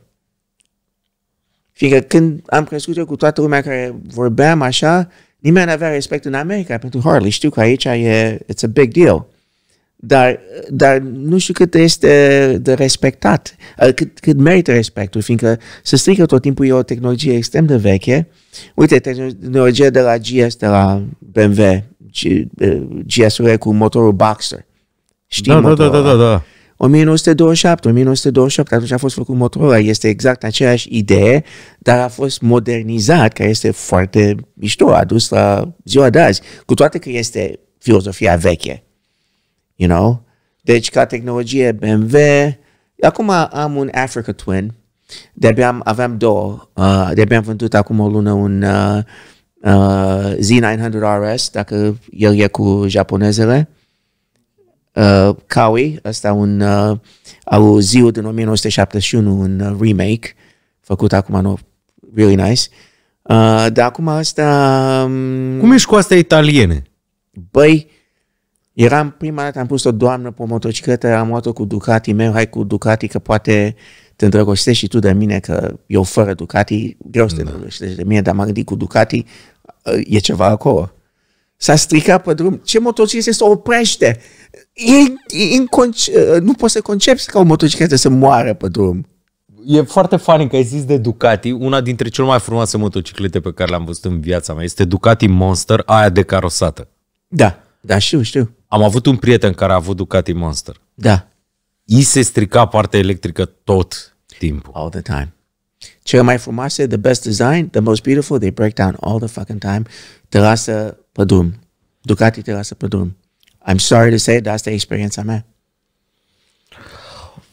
Dom'le, tu o- îmi place că ți-ai trăit viața având datele pe care le-ai avut, nu ți-a fost frică să trăiești viața și în continuare văd că nu ai nici. Care e planul tău acum că te-ai mutat în România? Oh, man. Uh, păi să fac chestiile astea, cei 20 de ani, să poate să mai fur înapoi din ei, să mai scot din ei câțiva ani de muncă, făcând lucrurile care le iubesc, proiectele care le iubesc. Um, cam asta este. Am doi câini și trei pisici. Acum mă gândesc să adoptez încă un câine, să fie Brady Bunch, cum așa. Um, cam, cam asta este. Adică, da, să mă plimb așa până în Europa, dar nu mai îmi plac uh, călătorile și plimbările, că I, I've been there, done that. Te duci în avion, te duci la hotel, te duci la o biserică veche, spui wow, până te duci înapoi la hotel și până vii înapoi. It's okay, it's fun, it's interesting, dar e mult mai interesant să am un challenge când lucrez la ceva care chiar mă sperie și nu știu cum o să rezolv. Asta e mai exciting pentru mine. Uh, am oameni care îmi spune, păi tu ar trebui să te puim tot timpul. Why? să mă duc în Maldive? Uh, Spune-mi tu, de ce se duce toată România în Maldive? Care e obsesia românească cu Maldive? Sa, uite, altul. Da, What the fuck? What, what happened? adolescenți. Din nou, răspunsul Știa este... cineva pe hartă unde e Maldive acum 20 de ani? Nu, Not really. Nu, se duc toți în Maldive acum. Tu ai fost? Ai fost și tu? Nu. Nu. Bravo, te respect. Ce dracu să caută Maldive? Ce e acolo? Păi, la mine e faza asta cu... Eu acum am 40 de ani. Ok. La 40 de ani, deși sunt deschis la tot ce e nou, nu revin la niște chestii care erau și când eram eu mic, dar nu mă interesau atunci. Că doar nu m-am tâmpit între timp. Bă, dacă nu mă interesa la 12 ani, m-am tâmpit ca la 40 să mă intereseze. Adică chiar am trecut prin... Cum e boala asta cu nostalgia muzicală, cu de-astea, tot felul de trupe de-astea de mâna a doua sau muzică ultra cheesy, Da. care dintr-un fel sau altul, dintr-o hipstereală, dintr-un snobism, nu știu, au revenit la mod acum așa out of nowhere și am zis, băi, erau niște mizerii care nu-mi plăceau când aveam 12 ani. Da. De ce pizda măsii mi-ar plăcea la 40? Cam așa mă poziționez eu și cu Maldive. Bă, dacă nu m-a interesat dusul în Maldive când aveam 18 ani, când eram de dus la plajă cu gagici, Da. de ce m-aș duce acum la 40? M-am tâmpit? Am criza vârstei de mijloc, recunosc, dar nici în halul ăsta. Adică mi-am luat mașină. Mașina e altceva. Da, da, Mustang îmi plăcea și la 12 ani. Mă, Trebuie să fii mort să nu-ți placă Mustang. I mean, you Asta zic și eu. În cazul în care te întreb de ce dracu s-a vândut în draci atunci. Because it was so cool. Da. Vedeai și îți doreai. Vedeai și, și doreai și a venit în timp pe ăla și uh, rev- revoluția sexuală în același timp. With a Mustang, you put those two things together, vinzi milioane de Mustanguri. Ceea You ce know, s-a 'cause și it's a sex întâmplat. machine. It's a sex machine. Hai să fim sinceri. Uh, Mustang is I want to fuck. Asta este. Problema este că eu când mi-am luat Mustangul ăsta acum 3 ani, 3 ani baboia sau 4 de când l-am luat. Cam 3 și un pic. Așa, eu am zis, știi, gândirea asta masculă, the pussy magnet. Absolutely. Greșit. Greșit complet, dragul meu Eugen. Am învățat pe pielea mea. 90% dintre oameni care se opresc să uită la mașină sunt bărbați. Absolutely. Restul de 10% fete care se opresc sunt gagicile bărbaților care se uită da. Da. la mașină. Da. De când mi-am luat Mustangul, n-am văzut o singură fată care să zică wow, domnul George, ce mașină v-ați luat. este foarte lungă. Pe semne că trebuie să compensați ceva. Nu, da. nici măcar gluma asta nu mi-au făcut. Da, asta e o, o, o mare minciună perpetuată pe planeta asta și trebuie cineva să spună tinerilor you're not going to get more pussy if you get a fancy car. Dar eu am făcut-o, ai făcut-o și tu. You don't get more pussy, fiindcă el te, uh, o întreb de mașina ta, care e mașina aia albastră? Stai puțin, eu am muncit nu știu cât timp să iau asta și am obsedat pe internet pentru 5 ani și tu o vezi ca o mașină albastră? They don't know. They don't care. But, having said that, sunt unele doamne în Los Angeles care se pricep la mașinile ultra scumpe. Acum vorbim Ferrari, Bentley, asta știe fiecare an. Știe, nu vii tu cu un Ferrari de acum 20 de ani, că aia știe că ăsta e modelul, aici s-a schimbat, spune exact. Da, dar motivul pentru care cunoaște modelele de mașină e cu totul altul, nu știu dacă e neapărat dragostea de mașini. Uh, nu e dragoste, e dragostea de ce ai tu în buzunar. Că cu tine, cât e mai nou model, cu atât, cât ai mult, mai mult în buzunar și cu atâta îi vine ei mai mult, înțelegi? Deci, they don't care about. Clar nu le place de mașini deloc. Dar am învățat ca și cum să uite la ceas. Nu poți să scap cu un Rolex de la din Hong Kong. Doesn't work that way. Știe că e adevărat ce an, ce... Of, doamne. Revenind la filmul ăsta. De ce ar trebui să ne uităm la filmul Mrs. Buică? Vindeți, uh, acum, înainte să spargem geazul, vindeți singur film, marketează-ți-l. Convinge-ne să venim la film. Ar trebui să vedem Mrs. Buică pentru că... Fiindcă n-ați mai văzut o chestie așa. You've never seen something like it ever in a cinema or at home. Băi, da, pot să confirm. Asta. Pot să confirm asta. Și vei simți ceva no matter what. Uite, la Sibiu două doamne au plecat. Uh, erau mai în vârstă, dar au fost șocate că se vorbește așa. Cum e posibil să se vorbească așa la cinema? Sorry. Am avut doi oameni nemți, nu știu ce căutau la Sibiu, uh, care au plecat, dar au venit înapoi că vor să se vadă cum, ce se mai întâmplă în film. Au fost șocați, supărați, au plecat, dar au venit înapoi după 5 minute. Uh, singura instanță când au, au uh, plecat uh, oameni de acolo, dar uite, la Q&A, când terminăm filmul uh, și eu vorbesc cu publicul, nimeni nu spune, mă duc acasă acum, acum să vorbește prostii. Oamenii stau, au întrebări. Pentru că e genul de film care are întrebări, dar Presupun că ai și foarte mult footage lăsat pe masa de montaj. Da, vreo 100 de ore. 100 de ore? Da. Am avut... Cât ai filmat pentru filmul ăsta? Cât, cât material brut ai avut? Păi, 100 și ceva de ore, 120, 130 de ore, cam așa. Da, am filmat mult, am filmat mult, inclusiv în ultimul timp, nu, nu găseam un sfârșit. Hai să filmez o nuntă, acum 2 ani, hai să filmez uh, un parastas, aveam nevoie de un sfârșit. Am încercat tot ce e posibil. Uh, până când am...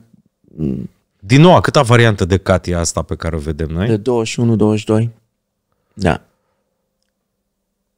Ai preferat să lași pe masa de montaj și niște chestii mult mai dark decât ce vedem în film? Chestii care poate răspunde la niște întrebări, dar sunt chiar așa de personale și duc așa de, sunt așa de dure că chiar nu pot, arăt extrem de mult, dar acolo nu pot să mă duc.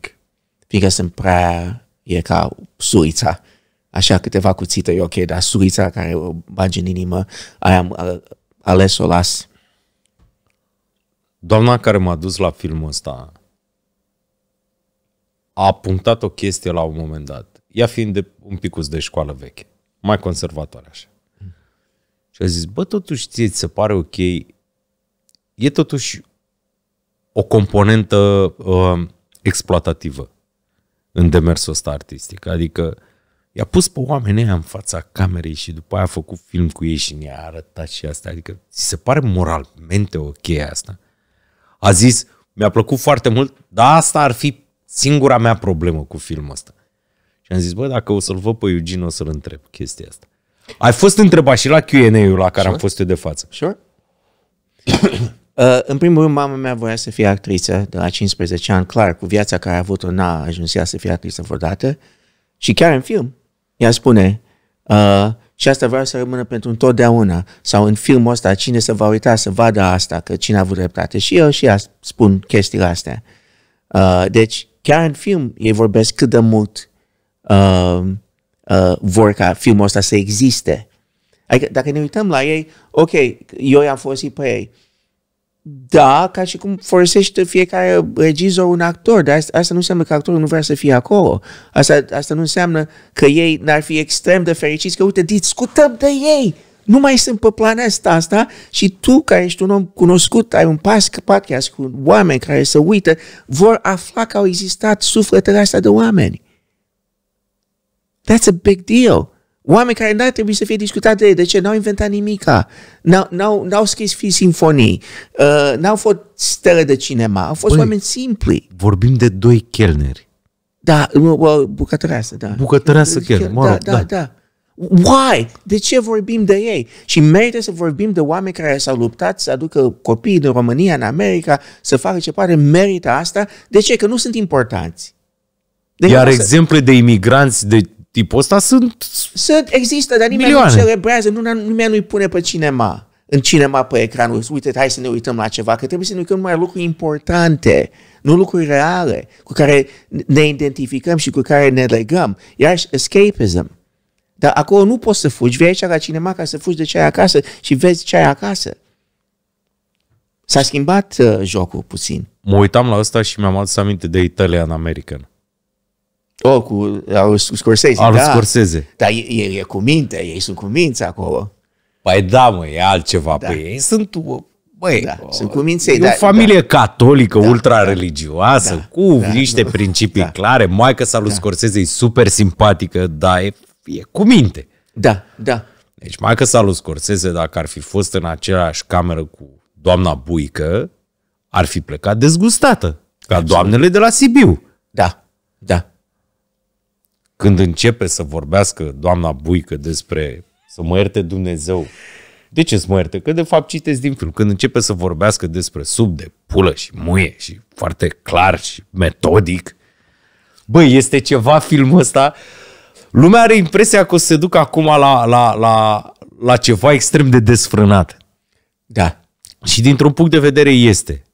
Dar nu este mai desfrânat decât viața însăși. Că mie de asta mi-a plăcut. Doza de, de cât de mult se așează filmul ăsta pe planul existenței reale și valențele pe care le cap, underline-ul este extrem de important la filmul ăsta. De-aia mi se pare că e unul dintre cele mai bune filme românești făcute vreodată și unul dintre filmele alea care ca happening cinematografic se întâmplă foarte rar. Și tu știi asta. Îți mulțumesc, îți mulțumesc și, și da, trebuie să ne uităm la ce spunem cu filmul ăsta. Da, să vorbești urât, dar ce spune filmul ăsta până la urmă? What's the message? What are we trying to say here? tu ai zis un subtext foarte bun. Și cu ăsta vreau să închem. Ăsta e genul de documentar pe care Tarantino l-a recomandat într-o discuție despre filme.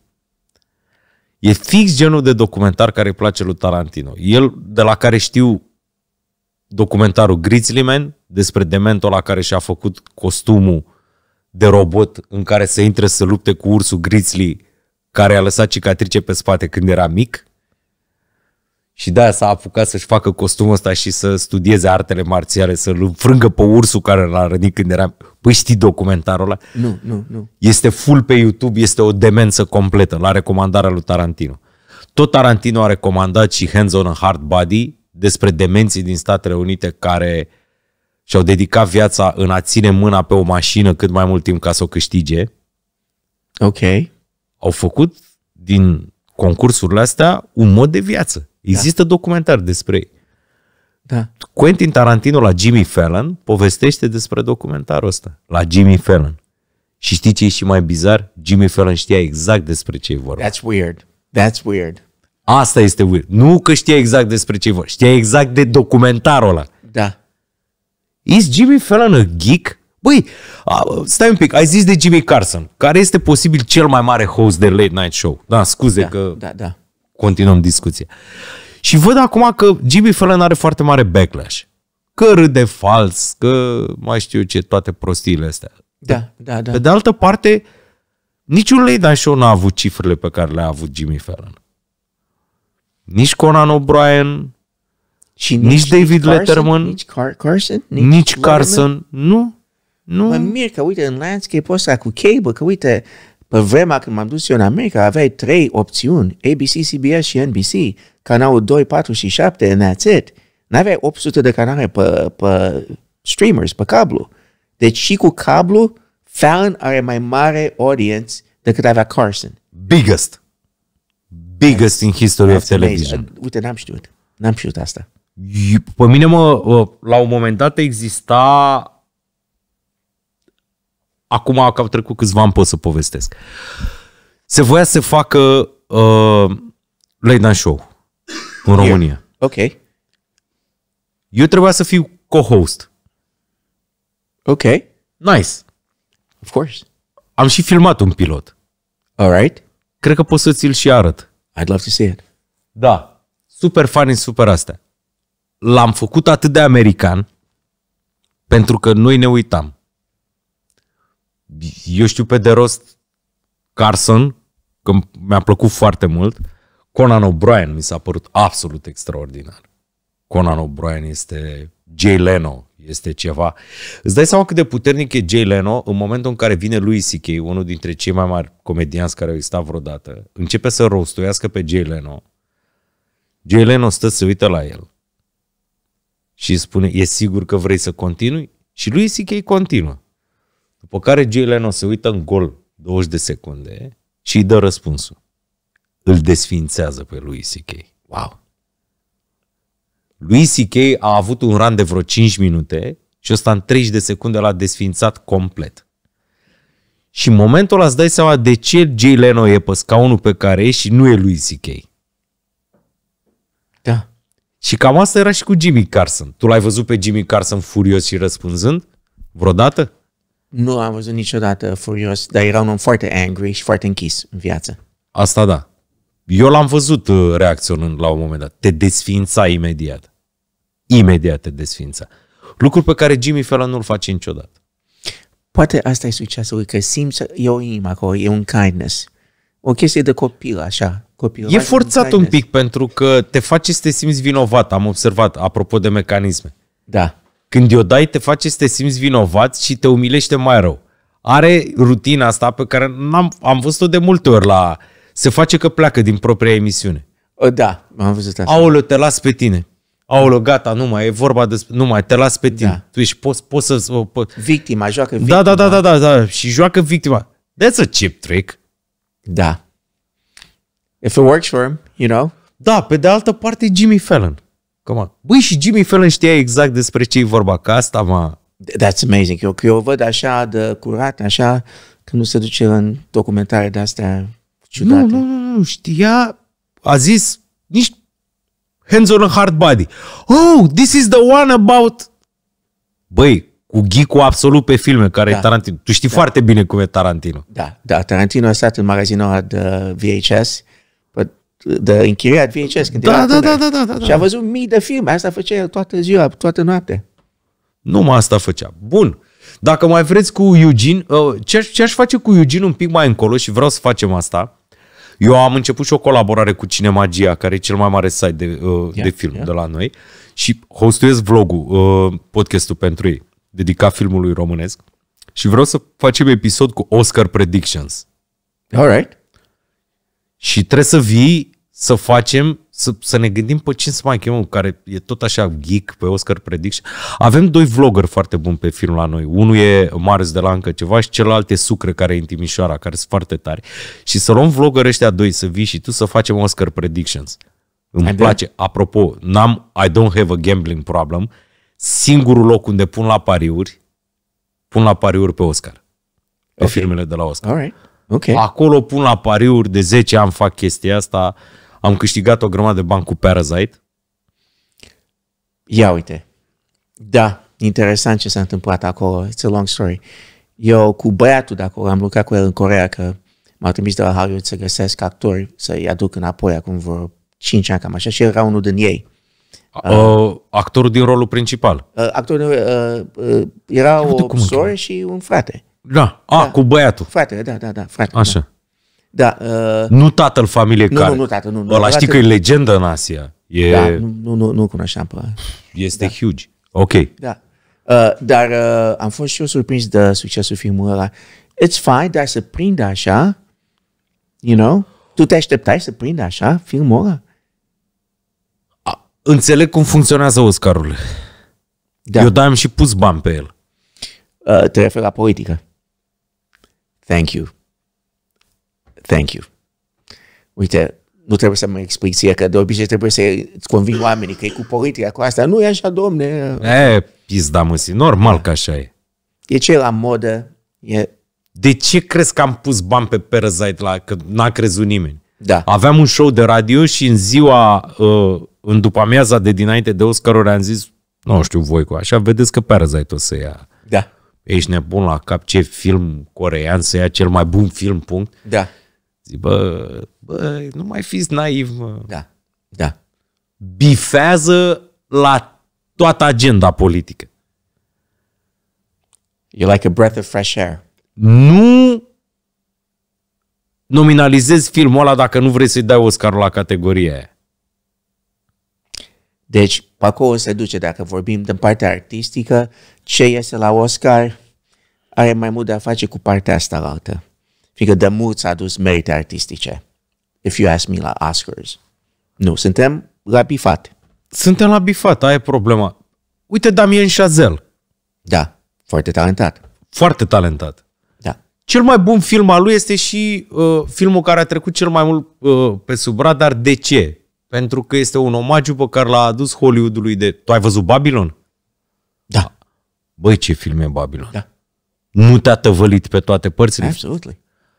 Ăla este cel mai bun film al lui Damien Chazelle. Da. E, el a luat pentru musical ăla cu Ryan Gosling, cu Nici prostie. ăla n-a luat, mi se pare. A luat pentru film sau pentru A luat? fost, da, a luat, a luat, A luat pentru ceva, film. dar n-a luat cel mai bun film. A luat poate best screenplay sau ceva așa. A luat, a luat ăla cu, cum naiba îi zice, Whiplash. La La Land. La La Lasă, Land, da, lasă. pentru ăla a luat, cred că, că, eu am crezut că a pierdut anul la el. Ia uite-te la Damien Chazelle, mă, baboiaș, pentru ce dracu a ce luat pentru Oscar? ce a că l-a câștigat? Fiindcă uh, La La Land, cred că a venit second, că era altceva care era mu- mai la modă. Era Ție Whiplash ți-a plăcut? Whiplash? Da. Da, mi-a plăcut. Mi-a plăcut. Adică eu am cântat la vioară, am crescut cântând Da, la vioară. La început în România, cu profesor care țipa la tine și îți dădea una. Înțelegi? Deci, ai dat. Arcușul ăla nu era numai instrument. Nu, nu, nu era numai in- instrument. Da. Cu profesor care fuma și se supăra, te împingea. Ia. Ok. Uh, știi că Whiplash are la bază un film studențesc. Mm, da, a fapt. fost făcut ca un film studențesc și a fost până refăcut. Și uh, J.K. Simmons e fenomenal. Nu ți se pare că J.K. Simmons joacă același personaj? Este acel, e, el, el, da, se joacă pe el. E foarte greu să fii actor de serial într-un serial care are foarte mare succes și să faci tranziția către cinema. Văduvit de uh, atenția pe care ar fi meritat-o, de fapt, pentru că e un actor extraordinar, este Brian Cranston. Wow. Chiar. Să Chiar. mă ierte Dumnezeu, adică bă, a fost atât de tare în uh, Breaking Bad, încât Trumbo mi-a plăcut foarte mult. Da, da, Foarte bun. Dar e film de televiziune. da. L-au băgat în Godzilla, care trebuia să fie blockbuster și au marketat ca fiind filmul high budget cu Brian Cranston și moare Brian Cranston într-un sfert de oră. I hate that. Că ți-l vinde pentru el, te duci să vezi pe el și ți-l omoară. în Da, mă, ți-l omoară într-un sfert de oră. Băi, Ai Brian venit, Cranston... ai venit. Da, și Brian Cranston a făcut voci foarte bun. Uh, A făcut niște voci prin Batman. Niște da. ecranizări animate după Frank Miller, după Alan Moore, după ăștia da. care au scris cele mai bune Batman. Foarte tare. Da. El e comisarul Gordon. Ok. Ok, dar în rest... Tu ai mai auzit de Brian Cranston? Înainte de Breaking Bad, să fii sincer, nu. Nu. Înainte de Breaking Bad era dentistul din Seinfeld. Da, exact. Că multă lume uită chestia asta. Ăla, Eu am uitat și eu. da, dar a apărut gluma cu You are anti-dentite. Da. I, I, I don't even... Da. Așa, da, era dentist în...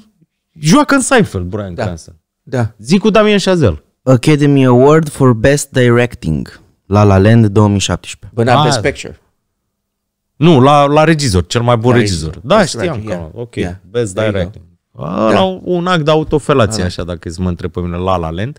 Da. Dar uite, Babylon, când a făcut film clasic după rețeta filmelor ălora cu care a crescut, nu l-au mai băgat în seamă absolut deloc. Dar nu-i la modă. De ce să-i dăm lui asta? Că nu-i pe lista noastră.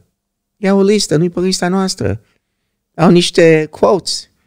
Avem oameni ăștia, ăștia, ăștia aici? Nu.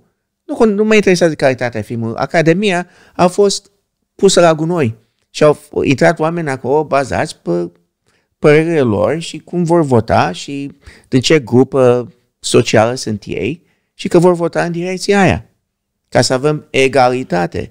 Dar uh, arta este o tiranie pe undeva. Este ce este bun. Nu putem să-i spun idealul ăla că și el e, a venit aici și se poartă frumos și uh, e, e, e trist că i-a murit mama și hai să-i dăm lui ăla. Who gives a fuck? Îi dăm lui ăla cel mai bun. Sorry. Lasă-i, domnule, să piardă bani. A Că început asta să, se a întâmplă. început să piardă bani. A început să piardă bani și eventually they're going to wake the fuck up, but whatever. Asta este chiar alte trei ore de discuție. Cu totul alte trei ore de discuție, pentru că în 2023 vine un dement englez care face un film care ca, e ca un podcast foarte frumos filmat despre omul care a inventat bomba atomică și face filmul ăla pentru că este o mare măestrie acolo de fapt și marketing bun, dar și mare măestrie și face filmul ăla în casări de mega blo- blockbuster și tăvălește pe toate părțile. Și ei se chinuie să tot bifeze agenda. Ai văzut Barbie?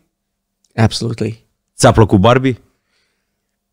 Mi-a plăcut filmmaking și toate astea, dar ca când a început cu politica pe acolo, m-a cam distanțat puțin. Dar ai pățit cum am pățit și eu. Nu e atât de bun pe cât zice lumea Barbie, dar e mult mai bun decât mă așteptam.